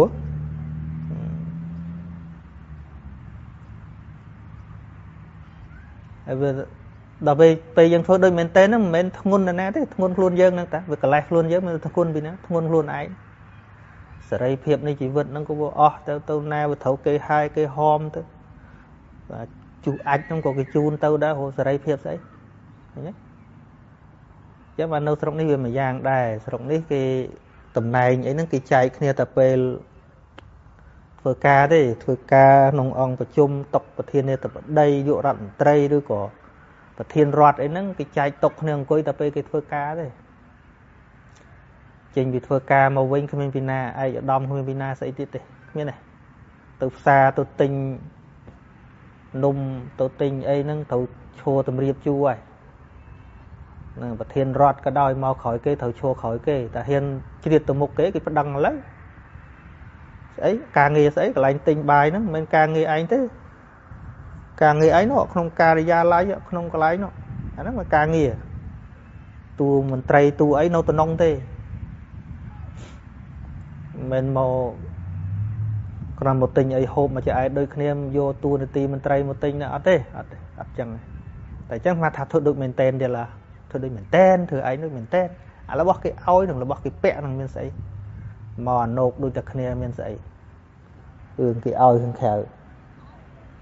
តែប៉ុន្តែយើងធ្វើដូចមែនតែនយើងចែកកំលៀតការរស់នៅចែកទៅជាវណ្ណៈសក្តិភូមិឆ្លោះគ្នាពេញនឹងឡាយើងរឿងអីគេញុះយើងឆាប់ខឹងគ្នាឆាប់ស្លាប់គ្នាដោយសារអីវាមានអាការបែងចែកអញ្ចឹងអញ្ចឹងមកសម័យពលពលស្លាប់ច្រើនណាស់ដោយសារអីវាមានអញ្ចឹងមែនវាមិនអត់ទេអញ្ចឹងមនុស្សវាស្អប់អាអាការខុសគ្នាក្នុងគំនុំវាមាន ការមើងងាយមើលថោកគ្នាក្នុងសង្គមដល់ទៅពេលគេញុះទៅអាកលេសក្នុងចិត្តវាមានអាស្លាប់ចោលពួកវណ្ណៈសក្តិភូមិវាមានក្នុងចិត្តវាមានអញ្ចឹងអាធัวចំណែននោះក៏វាមានវាស្អប់រឹកអ្នកមានវ័យរឹកផងតិចបន្តិចផងវាមិនដល់ថ្នាក់ស្លាប់អីទេមែនតើទៅបើខិនថាកិលេសក្នុងចិត្តអាធัวចំណែននោះវាមានអហើយដល់មានអ្នកញុះថាអូពួកអានឹងពួកវណ្ណៈសក្តិភូមិស្អីស្អីអើពួកអានឹងមែនតារឹកឯងរឹកឯដាក់ឯណាណី អានឹងមិនបាច់ចាំបរទេសណាសម្លាប់ទេតែគ្នាឯងនឹងញុះតែគ្នាសម្លាប់គ្នាបានហើយព្រោះកិលេសវាមាននៅក្នុងចិត្តស្រាប់ក៏វាមានហេតុដែរអានឹងបែងចែកខ្លាំងពេកចឹងមិនមេគាប្រពុតនឹងព្រះអង្គរំលាយអាវណ្ណៈនឹងចោលហ្នឹងអញ្ចឹងបានថាពុទ្ធបរិស័ទយើងមិនបាត់ចេះស្អីទេវិខសង្ឃយើងនឹងក៏អញ្ចឹងដែរបើថាមកចែកវណ្ណៈគ្នាក្នុងវត្តទៀតនឹងដូចជាយ៉ាប់ដឹងឲ្យវិណារំលាយវណ្ណៈទេបើយើង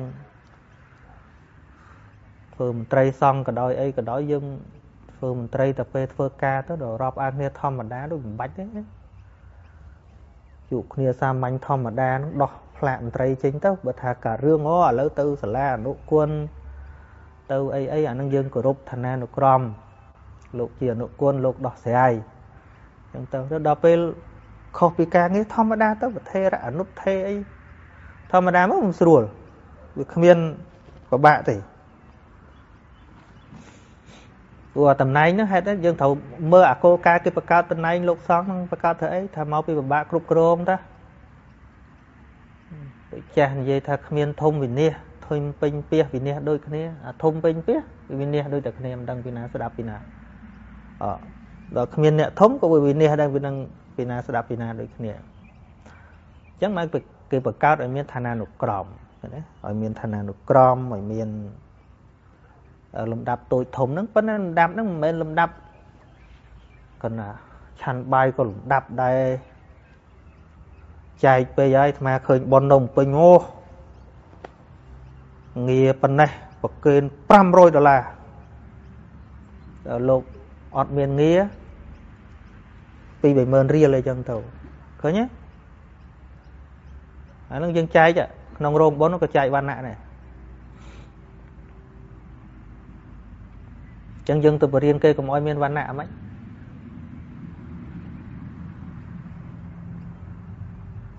បរៀនបានទេចឹងបានថាមន្ត្រីមកមិននិយាយមន្ត្រីខាងក្រៅនិយាយថាមន្ត្រីសង្ឃយើងហ្នឹងអាក៏ធ្លាប់ធ្វើមន្ត្រីសង្ឃខ្លះដែរដូចមិនដែលមានអារម្មណ៍ថាខ្លួនឯងមន្ត្រីសង្ឃកាលហ្នឹងដល់ពេលប្រជុំពេលអីបានថាអើអូវិន័យធម៌អីចេះអាហ្នឹង កាន់យកពួកពេលហ្នឹងយើងត្រូវយកទូនាទីធ្វើការ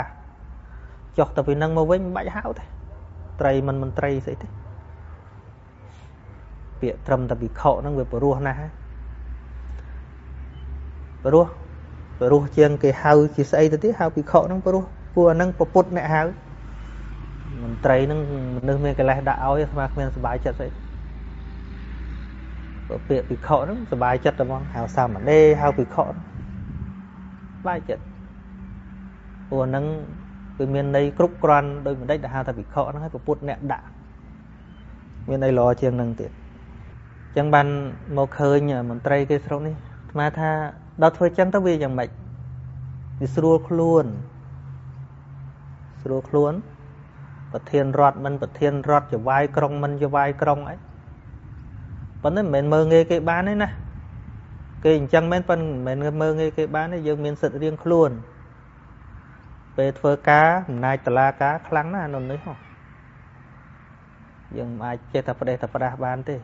តែពេលគេកាន់ជាតួនាទីគឺមើងម៉ាត់ហើយហ្នឹងហើយតែពេលចុះពីតួនាទីមកវិញបើថាបើកឡានតាមផ្លូវនាយករដ្ឋមន្ត្រីតំណែងតូចជាងប៉ូលីសទេណា ស្រុកនេះស្រុកញូហ្សេឡង់អីចឹងណាពីព្រោះអីពីព្រោះការងារខុសគ្នា ការងារត្រួតផ្លូវការងាររបស់ប៉ូលីសចរាចរណ៍អញ្ចឹងបើនាយករដ្ឋមន្ត្រីនឹងបើកឡានតាមហ្នឹងតែធ្វើខុសច្បាប់សិទ្ធតូចជាងប៉ូលីសឆ្នាំណានោះអឺនាយករដ្ឋមន្ត្រីញូហ្សេឡង់បើកឡានមិនបើកខ្លួនឯងទេអ្នកអ្នកបើក មានអ្នកបើកហើយគាត់អង្គុយនៅក្រោយដូចអានកសែតផងហើយទៅមើល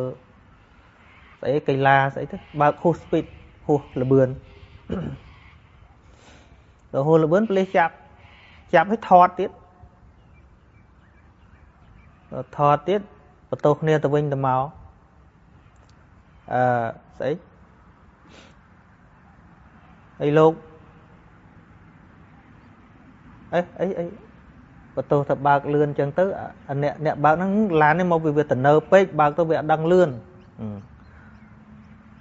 ហើយដល់ពេលនាយករដ្ឋមន្ត្រីហ្នឹងថាម៉េចទេអាឡ័យតែមើលស្អីមិនបានជួយប្រាប់ខ្មាស់គេប៉ិនត្រូវសុំទោសផាកសុំទោសក៏នៅតែផាកដែរផាកដូចប្រជាជនអញ្ចឹងឬក៏ផាកជាងផងអញ្ចឹងសួរថានៅលើផ្លូវចរាចរណ៍ឧទាហរណ៍ប៉ូលីសចរាចរណ៍គេធ្វើការប្រមាណផ្លូវហ្នឹងគេទទួលខុសត្រូវប៉ុណ្ណឹងសួរទៅ យុរដ្ឋមន្ត្រីធំជាងប៉ូលីសហ្នឹងឯងកន្លែងហ្នឹងអត់ទេប៉ូលីសហ្នឹងធំជាងយុរដ្ឋមន្ត្រីទៀតប៉ូលីសនឹងមានសិទ្ធិចាប់យុរដ្ឋមន្ត្រីញ៉េវាសិទ្ធិខុសគ្នាអញ្ចឹងយុរដ្ឋមន្ត្រីមានផែនការហ៎ការងារប្រទេសទូទៅប្រជុំអីអីសភាសម្រាប់អីអាហ្នឹងការងារគាត់ដែរនឹងប៉ូលីសឯណាទៅធំដូចគាត់អត់ទេអា ហ្នឹងការងារទូទៅសម្រាប់ប្រទេសប៉ុន្តែបើថានៅលើផ្លូវណែឯងអ្នកចរាចរណ៍ពាក្យថាចរាចរណ៍អត់មានលើកទេអត់មានលើកលែងណែឯងប្រធានរដ្ឋណែឯងអីទេអាហ្នឹងការងារគេចែកច្បាស់លាស់ចឹងអញ្ចឹងបានតែណាក៏អាចគោរពច្បាប់បានដែរឃើញវាស្រួលទេស្រួលទាំងអស់គ្នាហើយដល់ពេលអាត្មាមើលទៅពួកនេះយកមេគាតាមពុទ្ធតែគេមិនយកតាមប៉ុន្តែវាវាលំដាប់គ្នាហើយតែអញ្ចឹងទៅវាស្រួលបើកឡានវាគ្មានពីណា មកមានសញ្ញាថាពីណាប្រធានរដ្ឋពីណាចវាយក្រុងមានណាដឹងទេស្រុកនេះមានណាដឹងអត់ដឹងទេស្រុកដែលជាធិបតេយ្យភាគច្រើនអឺឡានសារ៉ែនមានតែអំប្លង់ឡានឡានពេទ្យឡានទឹកក្បួនសារ៉ែនដែលក្បួនធំធំមានតែក្បួនហែចោទេចោចោប្លន់ធំធំអាហ្នឹងមានគេហែធំ គេថាមន្ត្រីអីគ្មានទេគ្មានថ្មមិនដែលឮគេស្រែកសារ៉ែនរឿងមន្ត្រីអីទេមកនេះប្រហែលឆ្នាំថាឡានទឹកអានឹងឮឡានប៉ូលីសអាឡានពេទ្យហើយនឹងឡានហែចោហែអ្នកទោសហែនឹងមិនមែនហែហមអីទេហែការពារខ្លាច់រត់មានកប៉ាល់អឺកតុំរយផងអីផងថ្មគ្រាន់តែចែករំលែកនេះឲ្យ ថ្មមិនអាចទៅកែអីបានទេវាទម្លាប់យូរហើយស្រុកយើងមិនមែនតែឥឡូវនេះទេតាំងពីដើមមកម៉េះ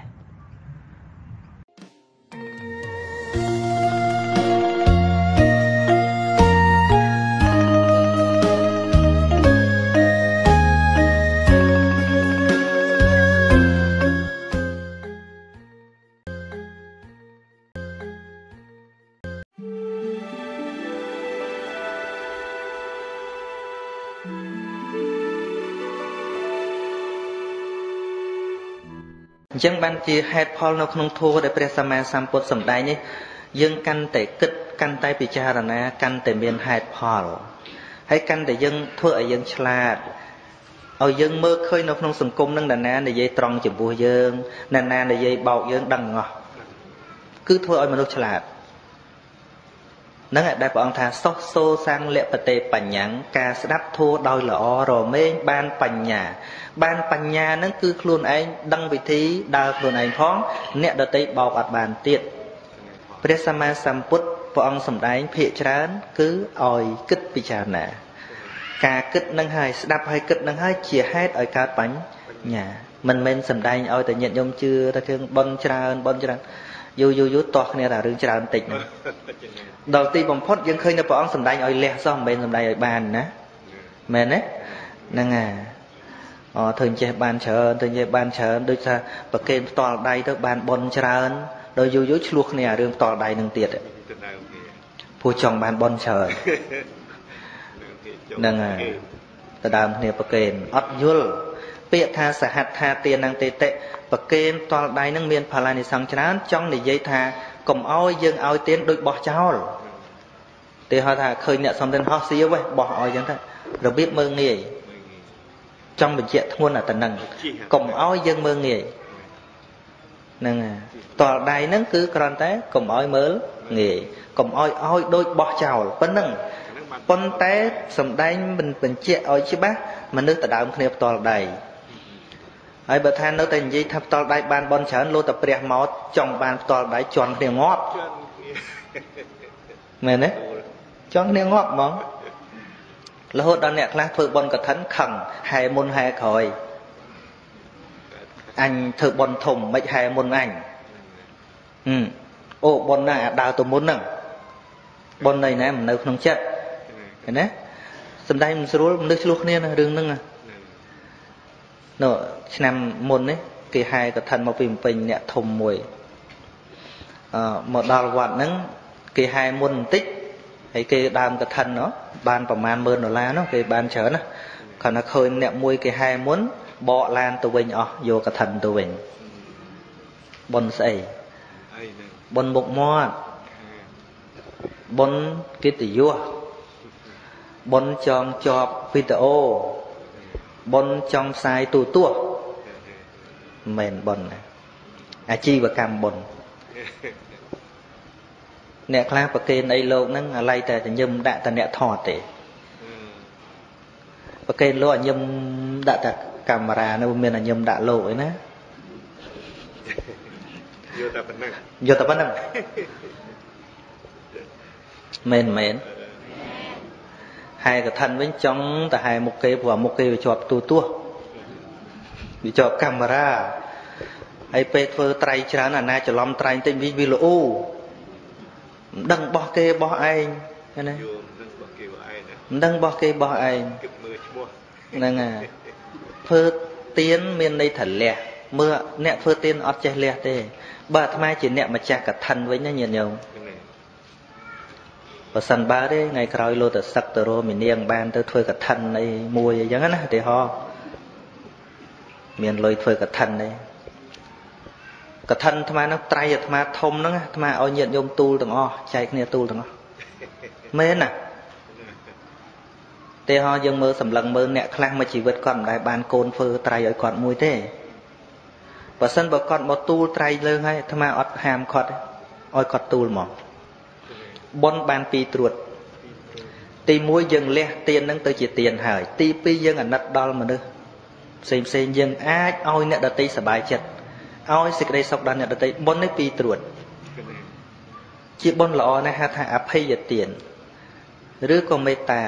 ករុណានៅក្នុងនឹងឃើញទេព្រោះអាធ្លាប់ឃើញចាស់ចាស់ដែលគាត់សบายចិត្តអាឲ្យត្រៃគាត់ទៅហែគាត់សบายណាគាត់ថាមកជីវិតមិនដែលបានទូលត្រៃកឋិនសោះ អ្នកអាសេចក្តីសុខរបស់គេនឹងក៏ជាសេចក្តីសុខរបស់យើងយល់ទេវាមិនចាំបាច់ដល់អញអ្នកទូលឯណាហ្នឹងហើយក៏ប្រាប់ប្រពន្ធអូនអើយកុំអន់ចិត្តអីយើងជូនចាស់ចាស់ទូលទៅណោះយ៉ាងនេះកុំទីហ្នឹងប្រពន្ធហ្នឹងក៏សុបាយទៀតហ្នឹងហើយបាញ់យាស្មាថាអញ្ចឹងដោយសារអីត្រូវមើលផ្លូវចិត្តបុណ្យនៅលើផ្លូវចិត្តរបស់យើង មិនមែនរូបរាងខាងក្រៅទេណាមិនបានចឹងដូចរឿងព្រះអង្គសម្ដែងពីអឺអនភិរៈចឹងដែលស៊ីឈ្នួល3ឆ្នាំដើម្បីអាហារមួយពេលសេដ្ឋីនឹងឲ្យទានរាល់ថ្ងៃប៉ុនគាត់ឲ្យសាមញ្ញចិត្តគាត់អត់មានជ្រះថ្លាខ្លាំងទេតែគាត់នោះធ្វើការ3ឆ្នាំដូរបានអាហារមួយពេលដែលថ្លៃនឹងហើយគាត់លះបង់ពីមាត់របស់គាត់ធ្វើទានត្រូវអ្នកស្រុកអបអរសាទរជាច្រើន អញ្ចឹងរបស់ច្រើនរបស់តិចមិនមែនជាចិញ្ចិញវាស់ប៉ុនទេ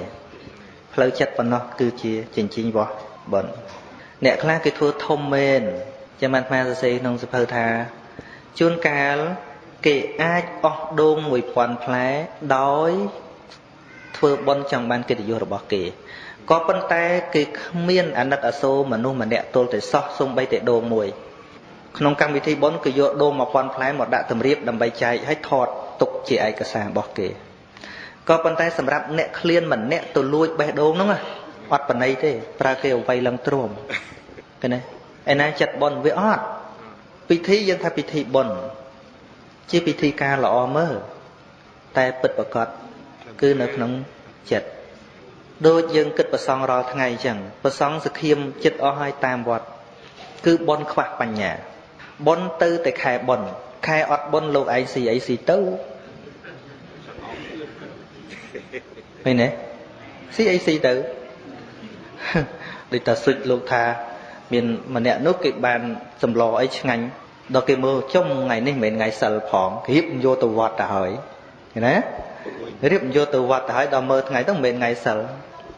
ហើយមកលោកថាបែបថ្ងៃអត់សិលលោកស៊ីថ្មស៊ីគ្រោះក្បែរបាហៀហ្នឹងហើយយ៉ាងថាមើល ដូចគ្រូម៉ៅម្នាក់គាត់ចាត់ទុកថាជាអ្នកប្រាជ្ញសល់ពីដើមដែរខែចូលឆ្នាំខែកឋិនខែភ្ជុំបិណ្ឌគាត់អត់ទៅវត្តទេហ្នឹងហើយហើយគេចិត្តតែឆ្ងល់គាត់អីគាត់នឹងមិនធ្វើបន់ធ្វើទានអីទេហើយគាត់ធ្វើគ្រូបរិញ្ញាលោកទៀតគាត់ធ្វើគ្រូបរិញ្ញាលោកទៀតយើងគិតមិនដល់ថាគាត់នឹងវាឆ្វេងវាខុសគេបានគាត់និយាយថា ខែភ្ជុំអត់ខ្ញុំម្នាក់ក៏លោកមិនខ្វះអីឆាន់ដែរដល់ពេលអត់ភ្ជុំបានគាត់ទៅមើលលោកមានអីឆាន់អត់នេះជាបនមានបញ្ញាយល់ទេកូនចៅធ្វើបន់ឲ្យឪពុកម្ដាយដូចគ្នាអញ្ចឹងកុំអោយម៉ែឪសម្បូរទៅថ្ងៃយើងធ្វើបន់ឲ្យអ្នកខ្លះអាត្មាលឺផ្ដាល់តិចហ្មងប្រមូលគ្នាធ្វើបន់បច្ច័យ4កតញ្ញូឲ្យឪពុកម្ដាយនិយាយពីសម្បូរថ្ងៃហ្នឹងរួចពីថ្ងៃហ្នឹងទៅ ម៉ែឪអត់ដែរហើយរឹតតែលេងទៅមើលម៉ែឪទៀតពីព្រោះអីថាធ្វើបន់រួចហើយហេហេធ្វើបន់រួចហើយធ្វើបន់រួចហើយចប់ហ្មងអញ្ចឹងបានអាត្មាបើអាត្មាខ្លាយជាឪពុកម្ដាយគេវិញណាកូនចង់ធ្វើបន់កតញ្ញូឲ្យអាត្មានឹងសួរកូនកូនឯងចង់ចេញដើមទុនប្រមាណម្នាក់នៅធ្វើបន់ណាអានេះថាមួយលានឬក៏ពីរលានម្នាក់អញ្ចឹងចាស់ អាត្មាសួរទៀតចុះធ្វើបន់ហើយឪនៅលុយប្រមាណមកស៊ីចុកគិតរោងគិតចុងភៅគិតលខោនគិតអស់លីងឥឡូវកូនឯងមិនបាច់ធ្វើទេ បើម្នាក់ត្រូវអស់2លានឡើយមិនបាច់ទេឲ្យពុកតែម្នាក់មួយលានមកហើយមិនបាច់ធ្វើទៅទុកឲ្យឪទៅទិញអីស៊ីខ្លួនឯងវិញថ្មប្រាប់ចឹងមែនណាឯងធ្វើដាក់ម្ដងប្រកាសមេក្រូចុះឡើងចុះឡើងហើយទៅអស់លុយអាលីងឲ្យទៅសខៀមទៅដែរ លហាមហ្នឹងហើយម៉ែឪសួរនេះសួរនេះយីអីទៀតព្រោះធ្វើហើយហើយហ្នឹងខ្លះហ្នឹងគិតថាមួយជីវិតធ្វើបន់ឲ្យម៉ែឲ្យអូនម្ដងគិតថាគេនឹងអស់ចាណាហើយខ្លះដល់ម៉ែឪស្លាប់ទៅអូយស្ដាយណាស់មិនបានធ្វើបន់កតញ្ញូស្ដាប់ទៅដូចកូនល្អណាស់អញ្ចឹងណាកតញ្ញូពិតប្រកបគឺចិញ្ចឹមគាត់រាល់ថ្ងៃចឹងមិនដូចញោមប្រុសអាត្មាគាត់យល់គាត់ស្ដាប់ធัวយល់ទៅគាត់យល់អាត្មាក៏មិនស្ដាយក្រោយទៅ ពេលគាត់ស្លាប់ទៅមិនបានធ្វើបន់អីអត់ទេព្រោះអាត្មាសុំធ្វើគាត់តែងតែថារាល់ថ្ងៃលោកកូនចាំញោមហើយជាបនកតញ្ញូរាល់ថ្ងៃហើយនេះអាត្មាចង់ឲ្យគាត់យល់អញ្ចឹងសវណ្ណសាមល្បីឈ្មោះរហូតមកដល់បច្ចុប្បន្នយើងនៅតែយករឿងលោកយកមកជាឧទាហរណ៍សវណ្ណសាមអត់ដែលបានធ្វើបន់ធំទេ គឺបនរាល់ថ្ងៃព្រឹកឪពុកបានអីពិសាថ្ងៃត្រង់គាត់បានអីពិសាឃើញទេ ងូតទឹកជូនគាត់ល្បីប្រមាណអសង្ខ័យឆ្នាំហើយយល់ទេល្បីយូរហើយប៉ុន្តែបើអ្នកណាមានលុយមានកាក់ចង់ធ្វើអាត្មាមិនហាមទេ ទីមួយរក្សាប្រពៃណីយើងផង ទីពីរយើងលើកមុខមាត់ឪពុកម្ដាយយើងឲ្យគាត់ខ្ពង់ខ្ពស់ផងក៏ជាការល្អតែបើមានបន្តិចបន្តួចទេទុកទិញអីឲ្យគាត់ហូបហ្មងទៅកុំមកដេញធ្វើហើយអស់លុយអាលេងនោះ គាត់អស់អីស៊ីចុកនោះលហាមទៀតដល់ម៉ែខ្វះនេះខ្វះនោះហីធ្វើបន់ឲ្យម៉ែឯងអស់លុយហ្នឹងឯងមុនអូយចប់ហ្មងហ្នឹងឯងដែលធ្វើអត់យល់យល់ទេមិនយល់មិនយល់ទេហ្នឹងហើយប៉ុន្តែបើយើងមានពេលវេលាគួរតែធ្វើដែរដើម្បីអីបានជួបជុំបងប្អូនបានរំលឹកគុណគាត់ឬក៏ អាចយើងនឹងคล้ายទៅជាអតិជាតបុត្រព្រោះពុកម្ដាយខ្លះបើយើងចិញ្ចឹមតែបាយទឹកនំចំណីក៏វាមិនគ្រប់គ្រាន់ដែរឲ្យគាត់មានទានឲ្យគាត់មានសិលហើយជាងកាលឲ្យគាត់ទៅវត្តគាត់មិនទៅអីចឹងទៅក៏នឹកឃើញថាអធ្វើកម្មវិធីបុណ្យមួយដើម្បីនិមន្តព្រះសង្ឃមកទេសនាក្រៃលោគាត់ស្ដាប់បានគាត់លះបង់គាត់កាន់សិលនេះគឺជាគំនិតល្អហ្នឹងហើយហៅថាជីវផាត់ជីវផាត់ហ្នឹងធ្វើតាំងពីសម័យព្រះអង្គនៅម៉េះហ្នឹងក៏គេធ្វើដែរ ចៅរបស់គោខេតកៈហ្នឹងដោយឪពុកគាត់មិនព្រមទៅវត្តអត់មានធัวមានអាក្នុងចិត្តឲ្យទៅវត្តក៏គាត់មិនទៅអញ្ចឹងទៅនិមន្តព្រះសង្ឃមកមុនព្រះមកហើយទូលព្រះអង្គស្រេចថាដែលខ្ញុំព្រះអង្គប្រគេនទានថ្ងៃនេះគឺដើម្បីអនុគ្រោះលោកឪពុកសូមព្រះអង្គសម្ដែងធัวប្រោសលោកឪពុកទូបង្គំផងនេះគឺជាគោលបំណងល្អហ្នឹងជាធម្មទានហៅគាត់ទៅវត្តក៏អត់ទៅតែអញ្ចឹងមុនព្រះសង្ឃមក ហើយដើម្បីបានសម្ដែងធម៌ដូច្នេះការធ្វើបុណ្យក៏ជារឿងល្អមួយពីព្រោះយើងរវល់ខ្វល់ខ្វក់ក្នុងការរស់ទទួលទានរស់ស៊ីមុខរបរវាមិនងាយមានពេលទៅវត្តអញ្ចឹងយូរទៅចាស់ចាស់បង្កើតកម្មវិធីបុណ្យហ្នឹងដើម្បីឲ្យក្នុងកម្មវិធីបុណ្យហ្នឹងបានប្រសងសម្ដែងធម៌បានយើងបានស្ដាប់ផងក៏ជារឿងល្អប្រយោជន៍របស់វានៅតែនឹងនឹងប្រយោជន៍របស់វានៅតែនឹងតែថាធ្វើបុណ្យឲ្យគាត់ទៅវារួចខ្លួនគាត់នឹងវាបានទៅជាស្អីអត់ទេយើងដឹងហើយពេលបុណ្យនឹងចំណេញតាចាឲ្យលោកទេ មែនណាមែនណានឹងបើជួលលខោនទៀតចំណេញលខោនជួលបាសចំណេញបាសហៅលោកទៅចំណេញលោកហៅអាចារ្យទៅចំណេញអាចារ្យនិយាយមែនណាហ្នឹងហើយប៉ុន្តែចំណេញអញ្ចឹងតិចឈប់ធ្វើចុះបើឈប់ធ្វើទៀតលោកបានអីឆាន់យល់ទេហ្នឹងហើយនៅធ្វើចុះប៉ុន្តែឲ្យយល់ថាទៅចំណេញពិតប្រកបមកលើយើងស្អី ហ្នឹងហើយហើយបើយើងមិនបានធ្វើនោះយើងវាធ្លាក់នរកស្អីថាមិនមែនទេសវណ្ណសាមមិនដែលបានធ្វើទេប៉ុន្តែសវណ្ណសាមធ្វើរាល់ថ្ងៃញាតិញោមអាមិនហៅមិនឆ្លើយញាតិញោមមួយកូនគេចិញ្ចឹមរាល់ថ្ងៃមួយទៀតគេធ្វើបុណ្យឲ្យញាតិញោមឲ្យដូចស្ដាច់ចឹងឡើងដូចស្ដាច់ចឹងមានទាំងតម្រៃហែមានទាំងស្អីទាំងអស់ប៉ិនធ្វើឲ្យគេឈប់ចិញ្ចឹម ស៊ីអីស៊ីទៅមួយទៀតគេមិនបានលើកអញ្ចឹងទេគេគេជូនបាយទឹករាល់ថ្ងៃយកមួយណាយករាល់ថ្ងៃហ៎គេរវល់យូរបើគេធ្វើតែម្ដងវាហើយមែនទេចង់បានមួយណាវាអញ្ចឹងឯងធម្មតាទេម៉ែឪនៅរស់ហ្នឹងគេចេះមិនហើយមិនហើយមិនចាំមើលម៉ែចិត្តងាប់មហូបមិនចេះខ្វះ ផ្លែឈើម៉ែពិសាទៅម៉ែទីបំផុតយកទៅស៊ីតែខ្លួនឯងម៉ែលេបមានរួចណាបាត់ចង់បាទអត់ចង់មែនអត់ដល់អាត្មាកាលឈឺចឹងដែរ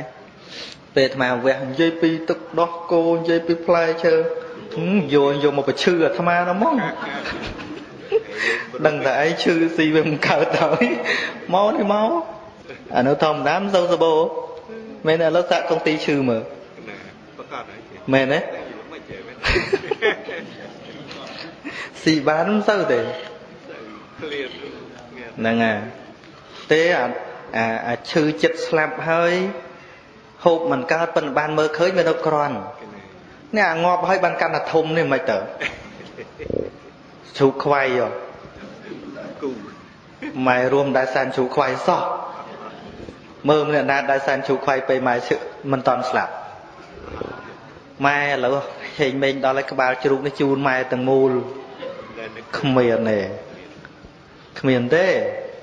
មែនទេព្រះអង្គឡុងយើងនេះឡុងផ្លប់នៅនេះលោកនិយាយលោកថាទៅបាំងស្គលគេឃើញអាជ្រូកខ្វៃនឹងមកគូស្រក់ទឹកមាត់អង្គុយដល់ស្រក់ទឹកមាត់ វាមិនដែលស្គាល់ជាតិលោកថាប៉ុន្តែពេលគេសែនឃើញគេកាត់តែចុងច្រមុះបន្តិចចុងផ្លឹកកជីបន្តិចចុងកតុយបន្តិចដាក់ភ្នោហ្នឹងហើយក៏គេលើកទៅមូលទៅវិញលោកគិតទៀតណាអូសង្ស័យតែគេទុកប្រគេនលោកអាយ៉ាងសង្ស័យតែបានខ្លះ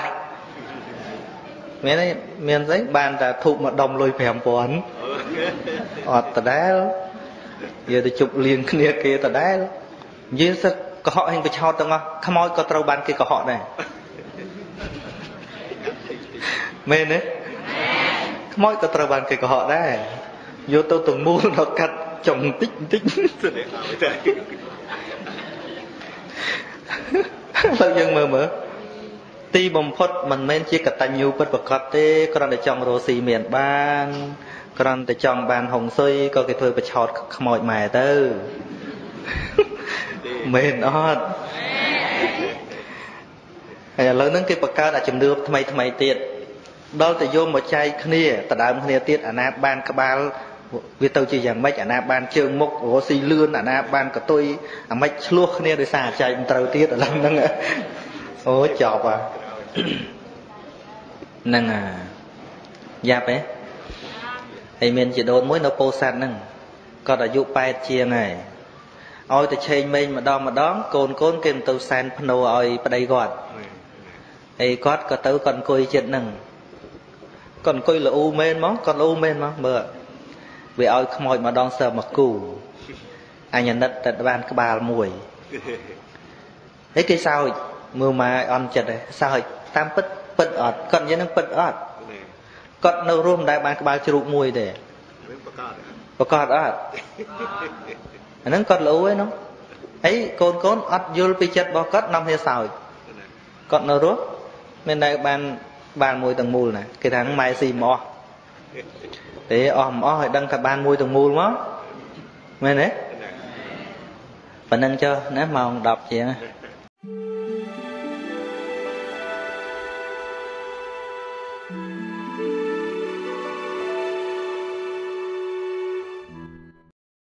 ហើយអាសុកមែនទែនបើយើងនិយាយមែនទែនយើងប្រាថ្នាកាន់តែខ្លាំងយើងកាត់ទុកកាន់តែខ្លាំងទេបើយើងមិនរៀបចំឲ្យត្រូវអញ្ចឹងបានមានគេសួរព្រះអង្គថា My Lord I want happiness សួរយ៉ាងខ្ញុំចង់បានសុភមង្គលអញ្ចឹងព្រះអង្គថា first ដំបូងអ្នកត្រូវតែលុបពាក្យអាយចោល អាយ ego ហ្នឹងអញហ្នឹងលុបអាពាក្យអាយចោលមួយ and then លុបពាក្យមួយទៀតគឺ want and then Buddha said see now there is only only happiness អញ្ចឹងលុបអាអាយមួយចោលលុបអា want មួយទៀតអ្នកនៅសល់តែ happiness យល់ទេយល់ទេលុបអាអញមួយសិនហើយលុបអាចង់មួយទៀតវានៅសល់តែស្ងប់ វានៅសល់តែសុភមង្គលឧទាហរណ៍អារបស់ហ្នឹងយើងអត់គួរបានណាប៉ិនយើងចង់ឲ្យដូចគេប៉ិនអារបស់ដែលយើងកំពុងមានយើងអត់ចេះត្រេកអរជាមួយវាទេឧទាហរណ៍ប្តីប្រពន្ធចុះមើលប្តីឯងទៅមិនសំណំមើលប្តីគេមិនសំណំទៅចង់ឲ្យដូចគេហ្នឹង ចង់បខំឲ្យលើសពីអ្វីដែលខ្លួន មានសុខឯងអើមើលមុខប្រពន្ធឯងដូចមិនសូវស្អាតមើលប្រពន្ធគេដូចស្អាតនឹងចង់អារឿងប្រពន្ធគេនោះទៅអើអានឹងជួញអឺដល់ឈប់អាចង់រឿងប្រពន្ធគេត្រេកអរត្រឹមតែប្រពន្ធឯងមកសុខបាត់ទេមែនអត់មែនអត់ហ្នឹងហើយ ហ្នឹងចឹងចឹងនិយាយពីសុខវាមាន4ហ្នឹងតែបើរឿងអាសុខស្អីស្អីទៅតែយើងចង់ហួសពេកពីពីអ្វីដែលយើងមានហ្នឹងអាហ្នឹងវាទៅជាកើតទុកឯងដោយព្រះអង្គសំដែងហ្នឹងចឹងពពុទ្ធមិនហាមថាយើងមិនឲ្យយើងចង់ទេប៉ុន្តែបើយើងចង់បានអីត្រូវមើលហេតុរបស់វាតែយើងធ្វើដើម្បីវាអត់ដូចខ្មែរចង់មកកន្លែងហ្នឹងអញ្ចឹងមិនមែនបើមិនចង់មកអត់មកទេចង់មកដែរ តែទន្ទឹមនឹងចង់មកហ្នឹងអាត្មាព្រមឡើងឡានមកអត់មែនទេហ្នឹងដល់ព្រមចេញដំណើរមកទីបំផុតមកដល់តែបើគាត់ថាចង់ទៅដែរតែចង់ទៅដែរតែអាតែនឹងចត់រហូតវាអត់ទៅទេហ្នឹងដូចធោអាអីសិលអីចឹងខ្ញុំចង់ដែរតែនោះអានោះអាតែនោះរហូតហ្នឹងចឹងហ្នឹងពេលនេះពេលនោះតិចតួចអញ្ចឹងហើយម្យ៉ាងទៀតមិញនេះអាត្មាលើលោកអ៊ំពិភាក្សាគ្នាថាគួរសមាទានអត់សិលណាហ្នឹងហើយគិតថាអេដូចមិនបាច់ទេអេដូចទាំងថ្មចង់និយាយរឿងហ្នឹងបន្តិចអឺយើងរាល់ថ្ងៃយើងคล้ายទៅជាប្រពៃណីរឿងសិល ឧទាហរណ៍ថាទៅវត្តទៅរក្សាសិលមែនទេឬក៏មានពិធីបុណ្យត្រូវសមាទានសិលវាคล้ายទៅជាប្រពៃណីញាតិញោមចង់ដឹងសម័យពុទ្ធគេរក្សាសិលមិនហ៎ហើយខុសពីយើងឥឡូវមិនហ៎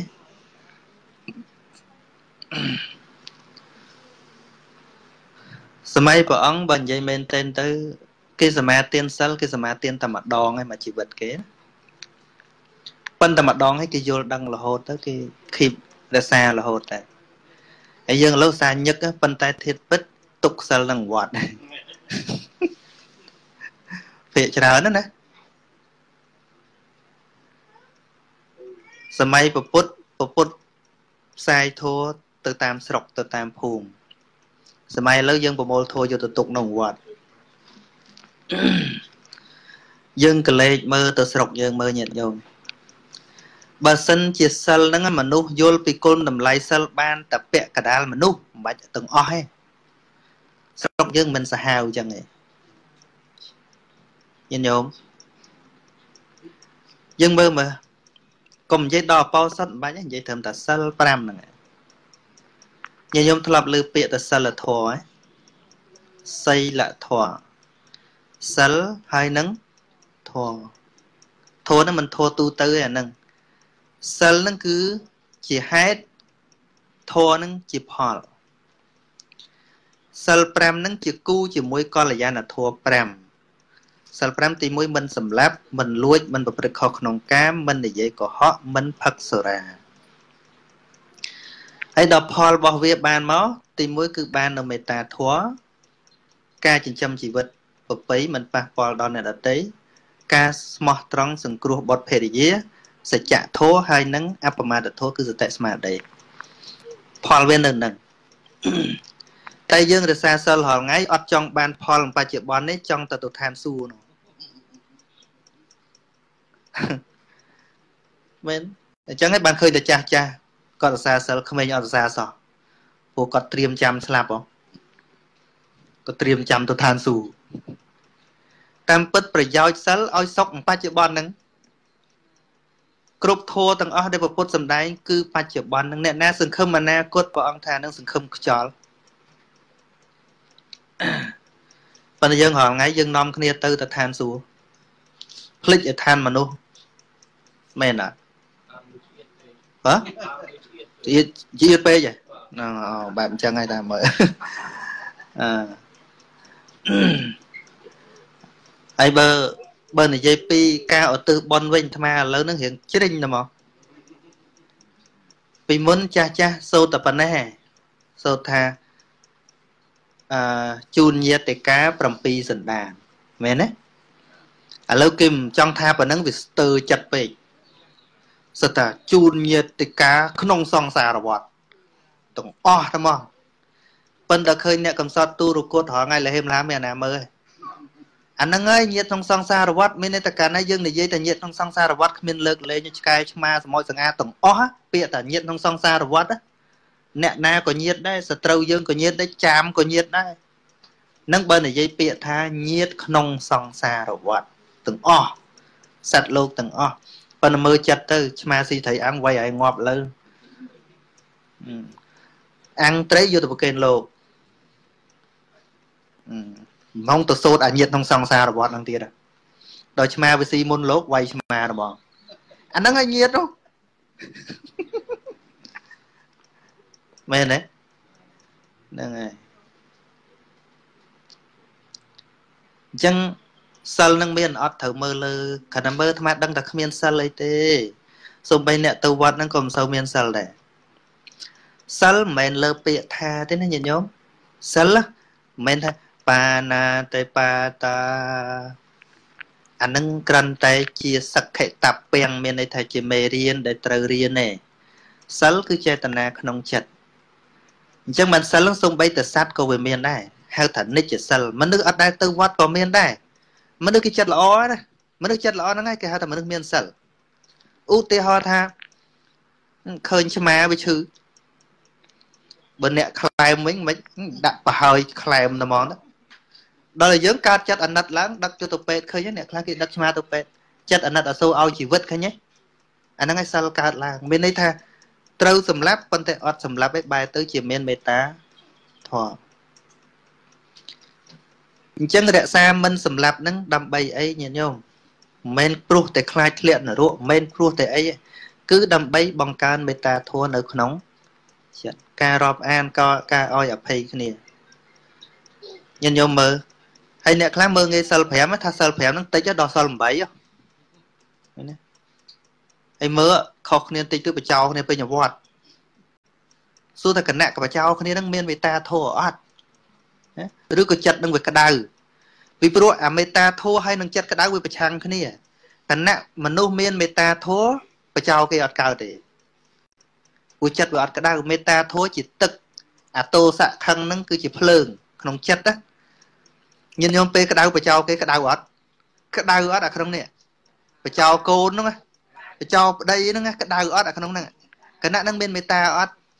no ហ្នឹងអេប្តីបចោដូចគ្នានោះបើអាត្មាលឺយាយយាយជេតាច្រើនជាងតែតាគាត់ជេរតែពេលគាត់ស្វឹងឯងអាហ្នឹងក៏បចោហ្នឹងក៏ក្តៅដូចគ្នា ហ្នឹងដូចគ្នាឥឡូវអាត្មាចង់ឲ្យញាតិញោមឃើញប្រយោជន៍នៃការរក្សាសិលហ្នឹងញាតិញោមពពុទ្ធព្រះអង្គមិនឲ្យមិនចង់ឲ្យយើងធ្វើអ្វីទាំងយើងមិនដឹងហើយចេះតែធ្វើសង្ស័យហើយអាសង្ស័យឲ្យធ្វើក៏ព្រះអង្គអត់អត់ឲ្យយើងធ្វើទៀតឧទាហរណ៍ចុះឧទាហរណ៍ថាសង្ស័យស្មាមើលទឹកចឹងស្រាប់ញាតិញោមដាក់ទឹកទេប៉ុន្តែដាក់ស្រាបៀងអាដបស្រាបៀងអង្គ ឧទាហរណ៍ញាតិញោមឃើញចាក់ពីនឹងប៉ុន្តែញាតិញោមយកអាដបស្រាបៀងអង្គលាងយ៉ាងស្អាតយកទៅដាក់ទឹកដល់យកទៅដាក់ទឹកយកមកចាក់អាត្មាឃើញចេញពីដបអាតាស្រាបៀងអង្គហ្នឹងណាអាត្មាសង្ស័យអីអានេះតិចស្រាទៅសង្ស័យពិនធៀបពិតញាតិញោមចាក់ទឹកដាក់ទេបើមានចិត្តសង្ស័យហើយនៅតែផឹកលោកនឹងត្រូវទោសមួយ ទឹកសុទ្ធប៉ុន្តែសង្ស័យហើយនៅតែផឹកយល់ទេរាល់ការធ្វើទាំងអស់ព្រះអង្គឲ្យច្បាស់ឲ្យច្បាស់ យល់ស្មានទេហ្នឹងទល់តែច្បាស់ទោះបីអានឹងទឹកមែនតែក៏ដោយត្រូវសួរច្បាស់អានឹងស្រាឬក៏ទឹកសួរឲ្យច្បាស់យ៉ាងណាមិនរាល់ការធ្វើអីទាំងអស់ពពុទ្ធចង់ឲ្យច្បាស់ឲ្យដូចយើងលាដៃឃើញខ្លួនឯងអញ្ចឹងអញ្ចឹងរសាសិលធ្វើអីឥឡូវទិសដៅរបស់វាបាណាតិបាតាដែលថា train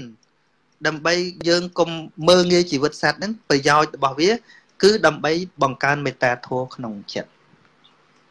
មេត្តាធម៌គឺការរាប់អាន ការឲ្យគេរស់ ឲ្យជីវិតគេមិនប្រមាថជីវិតអ្នកដទៃឃើញទេអញ្ចឹងយើងមើលស្រុកយើងមើលបើសិនជាមេត្តាធម៌នឹងកើត នៅ ក្នុងចិត្តមនុស្សស្មើនឹងចំនួនមនុស្សរសាសិលហ្នឹងណាស្រុកយើងសាហាវចឹងហ៎សាហាវចឹងហ៎ប្រហែលជាសិលនៅបបោមាត់តាមពិតសិលនៅក្នុងចិត្តនឹងគឺចេតនាល្អឃើញទេអញ្ចឹងផលរបស់វា យើងអាចពិសោធន៍ឃើញបាន បើគេចង់សួរថាតើអានិសង្សសិលនឹងស្អីខ្លះអាត្មានិយាយបានឃើញទេកាលណាយើងរៀនឲ្យតម្លៃជីវិតរបស់គេ យើងនឹងឃើញថាទំហំនៃមេត្តាធម៌នៅក្នុងចិត្តរបស់យើងនឹងកាន់តែខ្ពស់ឡើងខ្ពស់ឡើងប៉ុន្តែអត់ទេណាគ្រាន់តែជិះម៉ូតូមើលគ្នាបន្តិចបន្តួចកាប់គ្នា មានមេត្តាធម៌ទេអត់ទេអត់ទេហើយកាលណាមេត្តាធម៌វាកើតឡើងគ្រប់គ្នាទៅ សង្គមនឹងបានសុខអត់ ប៉ះគ្នាតិចតួចចេះឲ្យអនុគ្រោះអញ្ចឹងមិនស្រុកនេះចិត្តនឹះមិនដឹងប៉ុន្តែប៉ុន្តែគិតថាវប្បធម៌ខ្លះល្អដែរគេជួបគ្នាគេញឹមដាក់គ្នាមែនទេមែនទេគេជួបនេះ Hi Hello អីចឹងណាហើយយើងក៏ចាំមកអាត្មាជិះយន្តហោះទៅស្រុកខ្មែរអីខ្មែរមកកគុកមានណានិយាយអាត្មាអីមួយអត់នឹងដល់តែស្គាល់ជប់បរទេសគេមានចាំបាច់ស្គាល់ទេគេហើយ ឃើញទេអាត្មាថាទម្លាប់ហ្នឹងល្អហ្នឹងអាហ្នឹងអាហើយឲ្យវាមានគេធ្វើមុខឲ្យញឹមរស់ស៊ីធូណាធ្វើមុខជូររស់ស៊ីតឹងធ្វើមុខខឹងស៊ីរស់ស៊ីខាតធ្វើមុខស្អាតរស់ស៊ីចំណេញញញឹមជាមុនស្នេហ៍មួយអាហ្នឹងញាតិញោមមិនបាច់លៀបម៉ាក់កាយអីក៏មនុស្សចង់និយាយមួយយើងណាអាត្មាងាកងាកអាត្មាទៅដើរនៅ ភ្នំអីហាត់កុំអោយវាឡើងខ្លាញ់ពេកជួបបរទេសហាយហាយចុះហាយឡើយអាត្មាក៏ហាយគេទៅហើយងាកមិញញោមគាត់សួរថាអឺមិត្តភ័ក្តិអីមួយគេហ្នឹងទៅអត់មិត្តភ័ក្តិអងអងហ្នឹងហើយទម្លាប់អាក្រក់ខ្មែរយើងណាបើទេទូរស័ព្ទអាឡូស្គាល់កណាហ៎អត់បើបរទេសគេអត់ហ่ะ Hi I am អីចឹងហ្មង គេប្រាប់ឈ្មោះគេហើយហើយឯងឲ្យឲ្យគេទាយនឹងស្គាល់ខ្ញុំហ៎តែគេមិនចាំនឹងខឹងទៀតឥឡូវមែនទេពាក្យខ្មែរយើងមានតែពេលព្រឹកហៅថាអរុនសួស្ដីប៉ិនយកដាក់និយាយណាហ្នឹងជំរាបសួរអីសួស្ដីអីហ្នឹងក៏មានបើយើងមិនសូវប្រើដល់អញ្ចឹងមុខក៏ចប់ចប់ដាក់គ្នាជួបគ្នានឹង ប្រយោជន៍ទី1ឃើញនេះការអនុគ្រោះការឲ្យអភ័យរវាងគ្នានឹងគ្នាមិត្តភ័ក្តិអីស្បគ្រប់អីទាំងអស់ផលរបស់វាចុះអតនីទានមិនលួចទ្របគេមិនលួចទ្របគេនេះណាញាតិញោមច្បាប់អូស្ត្រាលីហ្នឹងក៏គេអាត្មាគិតថា គេមិនបានហៅថាជាសិល5ទេគេមិនហៅថាជាសិលទេប៉ុន្តែរចនាសម្ព័ន្ធដែលគេរៀបហ្នឹងអាត្មាមើលឃើញថាគេជាប់សិលច្រើនជាងយើង មកមើលណាតាំងពីការសម្លាប់សត្វអីទៅដើរតាមភ្នំឃើញកុងគ្រូបាញ់មកស្ងោអីហ្នឹងជាប់ហើយណាគេមិនអោយសម្លាប់ទេលួចស្អីស្អីហ្នឹងតែគេដឹងបាន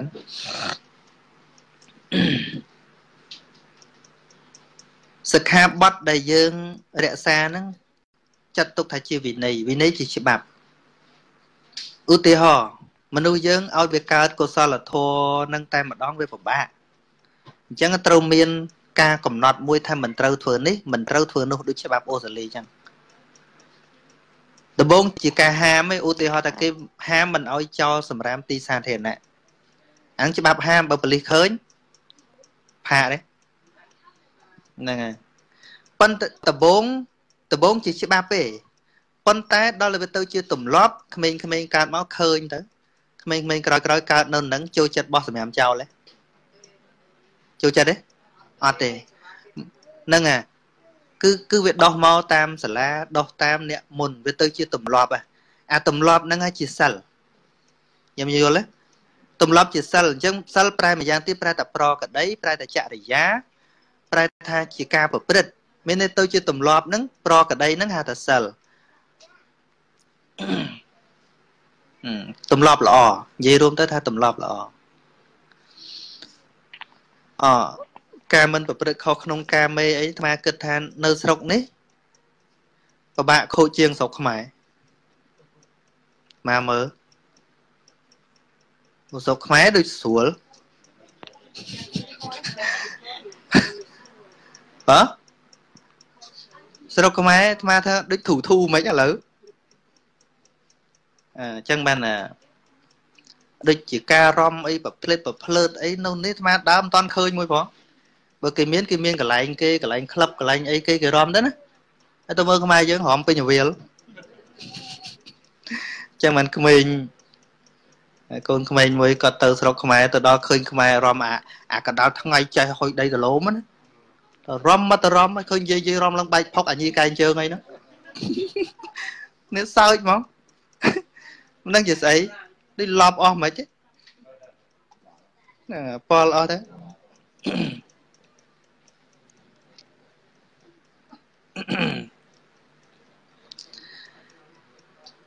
អញ្ចឹងមិនមែនរៀបរាប់ពីប្រយោជន៍នៃការរក្សាសិលនឹងតិចទៀតញាតិញោមរកទាញរកផលវាឲ្យឃើញមកតើវាល្អប៉ុណ្ណាសម្រាប់ជីវិតរស់នៅឧទាហរណ៍ដូចជាគូស្វាមីភរិយាអីចឹងឲ្យតម្លៃគ្នាផ្ដល់ភាពស្មោះត្រង់ដល់គ្នាអីចឹង វាមានរឿងលោកឯណាទៅផ្លុំឲ្យសុខឧទាហរណ៍ថាឥឡូវញាតិញោមចង់បានសុខពីអាត្មាអីប្តីជាដើរទៅប៉ាត់ណាប៉ាត់ណីសុខមិនចិត្តមិនក្តៅរហូតហ៎មែនទេមើលមើលឧទាហរណ៍តទេតទេគាត់ទៅណា មានកូនមួយទៀតចឹងណាឧទាហរណ៍ណាមិនដែរមិនដែរហ្នឹងអាទៅមុនលោក100អង្គមកស្រោចឲ្យបើតិចហ្នឹងហើយខែលងាក៏ក្តៅដែរអឺអាហ្នឹងសំខាន់សំខាន់សម្រាប់អ្នកណាសម្រាប់តែខ្លួនយើងហ្នឹងឯងតាមពិតសិលគឺប្រកដីគ្រាន់តែជាមេរៀនមួយជាការវឹកហាត់ឲ្យយើងបានសុខក្នុងក្រុមគ្រួសារយើងតែប៉ុណ្្នឹងឯងអមុសាវាទាវេរមណីការដែលមិនកុហកហ្នឹងដែលយើងធ្លាប់ និយាយពីមុនមកហ្នឹងគ្រាន់តែខ្លាចទៅអូកុហកបោកប្រាស់គេធ្លាក់នរុអីចេះចេះថាអាហ្នឹងវាមិនដឹងធ្លាក់មែនអត់ទេអានោះមិនតន់ងាប់ផងមិនដឹងប៉ុន្តែសំខាន់តែបោកប្រាស់គេញឹកញឹកតែគេតាមតន់មិនអស់ credit ហ្នឹងមែនទេហើយច្បាប់អូស្ត្រាលីច្បាប់អាមេរិកកាំងនេះតកុហកមនុស្សតែគេដឹងតកុហកពិបាកឯស្មាទៅមិនដឹងរឿងខ្លះខ្លះទៀតឧទាហរណ៍ដូច រឿងប្តីរឿងប្រពន្ធអីចឹងពេលលែងលះគ្នាអីចឹងនៅស្រុកខ្មែរយើងណាភាកច្រើនប្តីតលែងមិនដែលសូវចំពោណាមែនទេប្រុសស្រុកខ្មែរភាកច្រើនដូចអាមន់ឈ្មោលចឹងតែហើយវាទៅបាត់អានោះមានដែលមើលកូននឹងពេលលេងគ្នាភាកច្រើនណាឪពុកច្រើនទៅចោលមកទម្លាប់នឹងមិនល្អសោះតាមមើល កូនច្រើនតែនៅលើម្ដាយឯងនោះទៅប្រេះផ្ដាស់ឯណាណីទៀតប៉ុនស្រុកនេះអាត្មាទៅមិនដឹងខ្លះខ្លះជើសើបមើលលេងគ្នាលេងទៅចង់ទៅយកប្រពន្ធណាទៀតមានទៅប៉ុន្តែត្រូវចិញ្ចឹមកូនហ្នឹង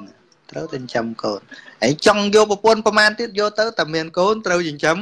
កូនកូនកាន់តែច្រើនកកាន់តែធ្ងន់ ហ្នឹងហើយព្រោះស្រុកនេះស្រុក Queen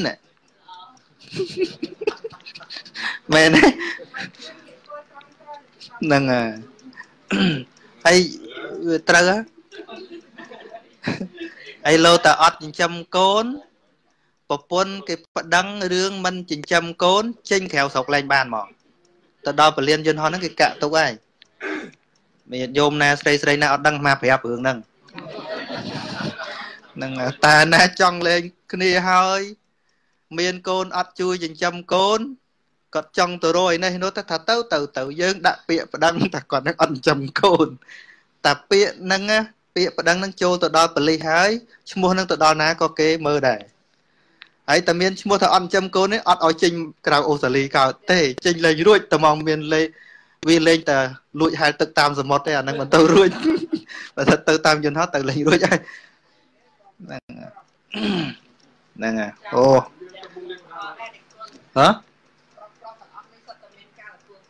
ហ្នឹងហើយព្រោះតែមានការទទួលខុសត្រូវបានម៉ែហ៊ាននិយាយនោះ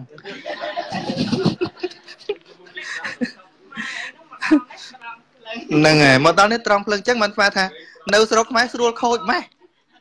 មកដល់មកដល់នេះដូចលេងអីខូចចិត្តត្រូវល្មើទឹកវិការទាំងអស់គ្នា មានអីទៅរកខូចណាមកដល់នេះត្រង់ភ្លឹងណាហ្មង ហ្នឹងហើយហ៎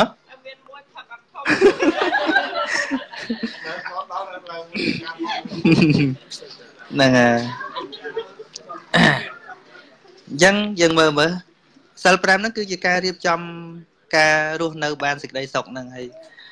អឺដូចជារឿងសូរាហ្នឹងអញ្ចឹងយើងកុំឈប់ផឹកស្រាព្រោះតែខ្លាចលាក់នរកនោះមូលហេតុដែលមនុស្ស មិនចាប់ផឹកស្រាមិនបាច់ពពុតហាមទេរដ្ឋអូស្ត្រាលីក៏ហាមដែរពេលបើកបរមែនអត់មែនអត់តែផឹកធំក្លិននេះគេឲ្យផ្លុំស្អីនោះហ្នឹងហើយទៅស្វឹងណាដកពងដកឡៃសិនអីចឹងចុះទិសដៅនៃការរក្សានៅអឺសុរាមេរយៈមជ្ជបមាតដ្ឋានានឹងដើម្បីអី គូរបស់វា គឺសតិសម្បជញ្ញៈកាលណាដាក់ច្រើនវាមិនភ្លេចភ្លាំងមែនទេហ្នឹងហើយស្រាអត់មានទោសទេណាញាតិញោមកុំយល់ថាស្រានឹងបាប ស្រានឹងមានបាបអីវាហើយស្រាវាអត់ចេះស្វឹងណាស្រាចេះស្វឹងដែរស្វឹងតែមនុស្សតាហ្នឹងហើយអញ្ចឹងដែលថាតមសូរាហ្នឹង មិនមែនតួស្រាហ្នឹងបាបទេមែនទេអញ្ចឹងបានអ្នកខ្លះសម្រាប់គុណធម៌ពេលស្រានៅក្នុងពោះព្រោះស្រាអត់បាបទេ ស្រាអត់មានជាតួបាបទេញាតិញោម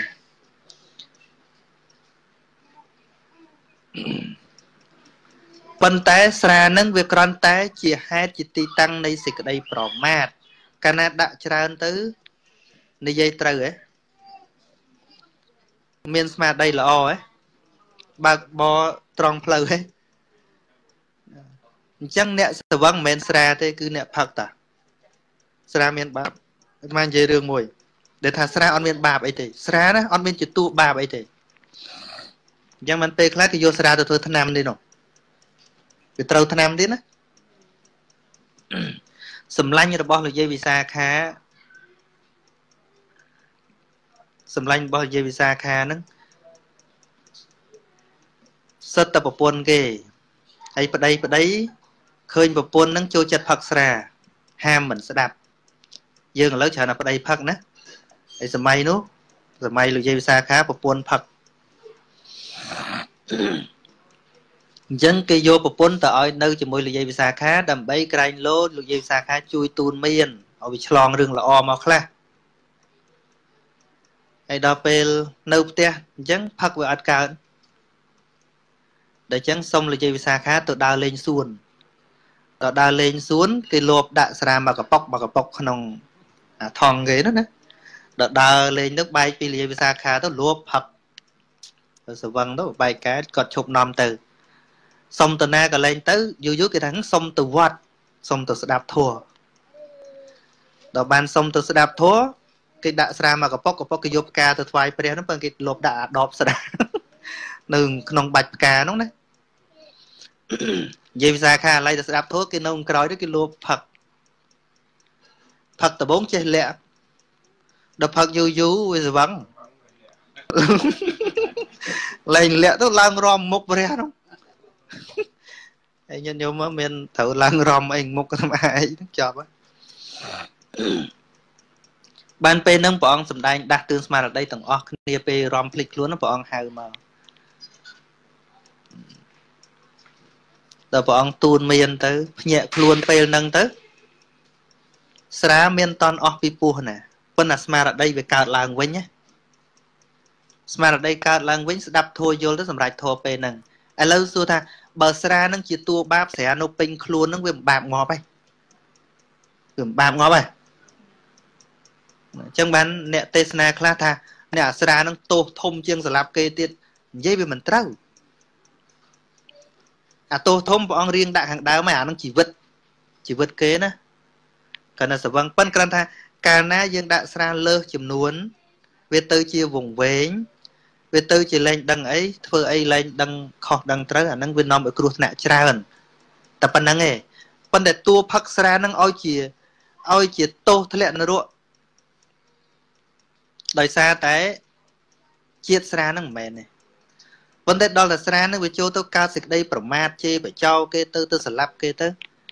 អាហ្នឹងបានជាថាស្រាហ្នឹងគឺជាហេតុជាទីតាំងនៃសេចក្តីប្រ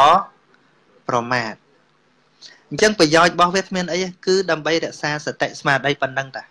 មិនផឹកស្រាហ្នឹងគឺដើម្បីរក្សាសតិស្មារតីតែប៉ុណ្្នឹងទេប៉ុណ្្នឹងឯង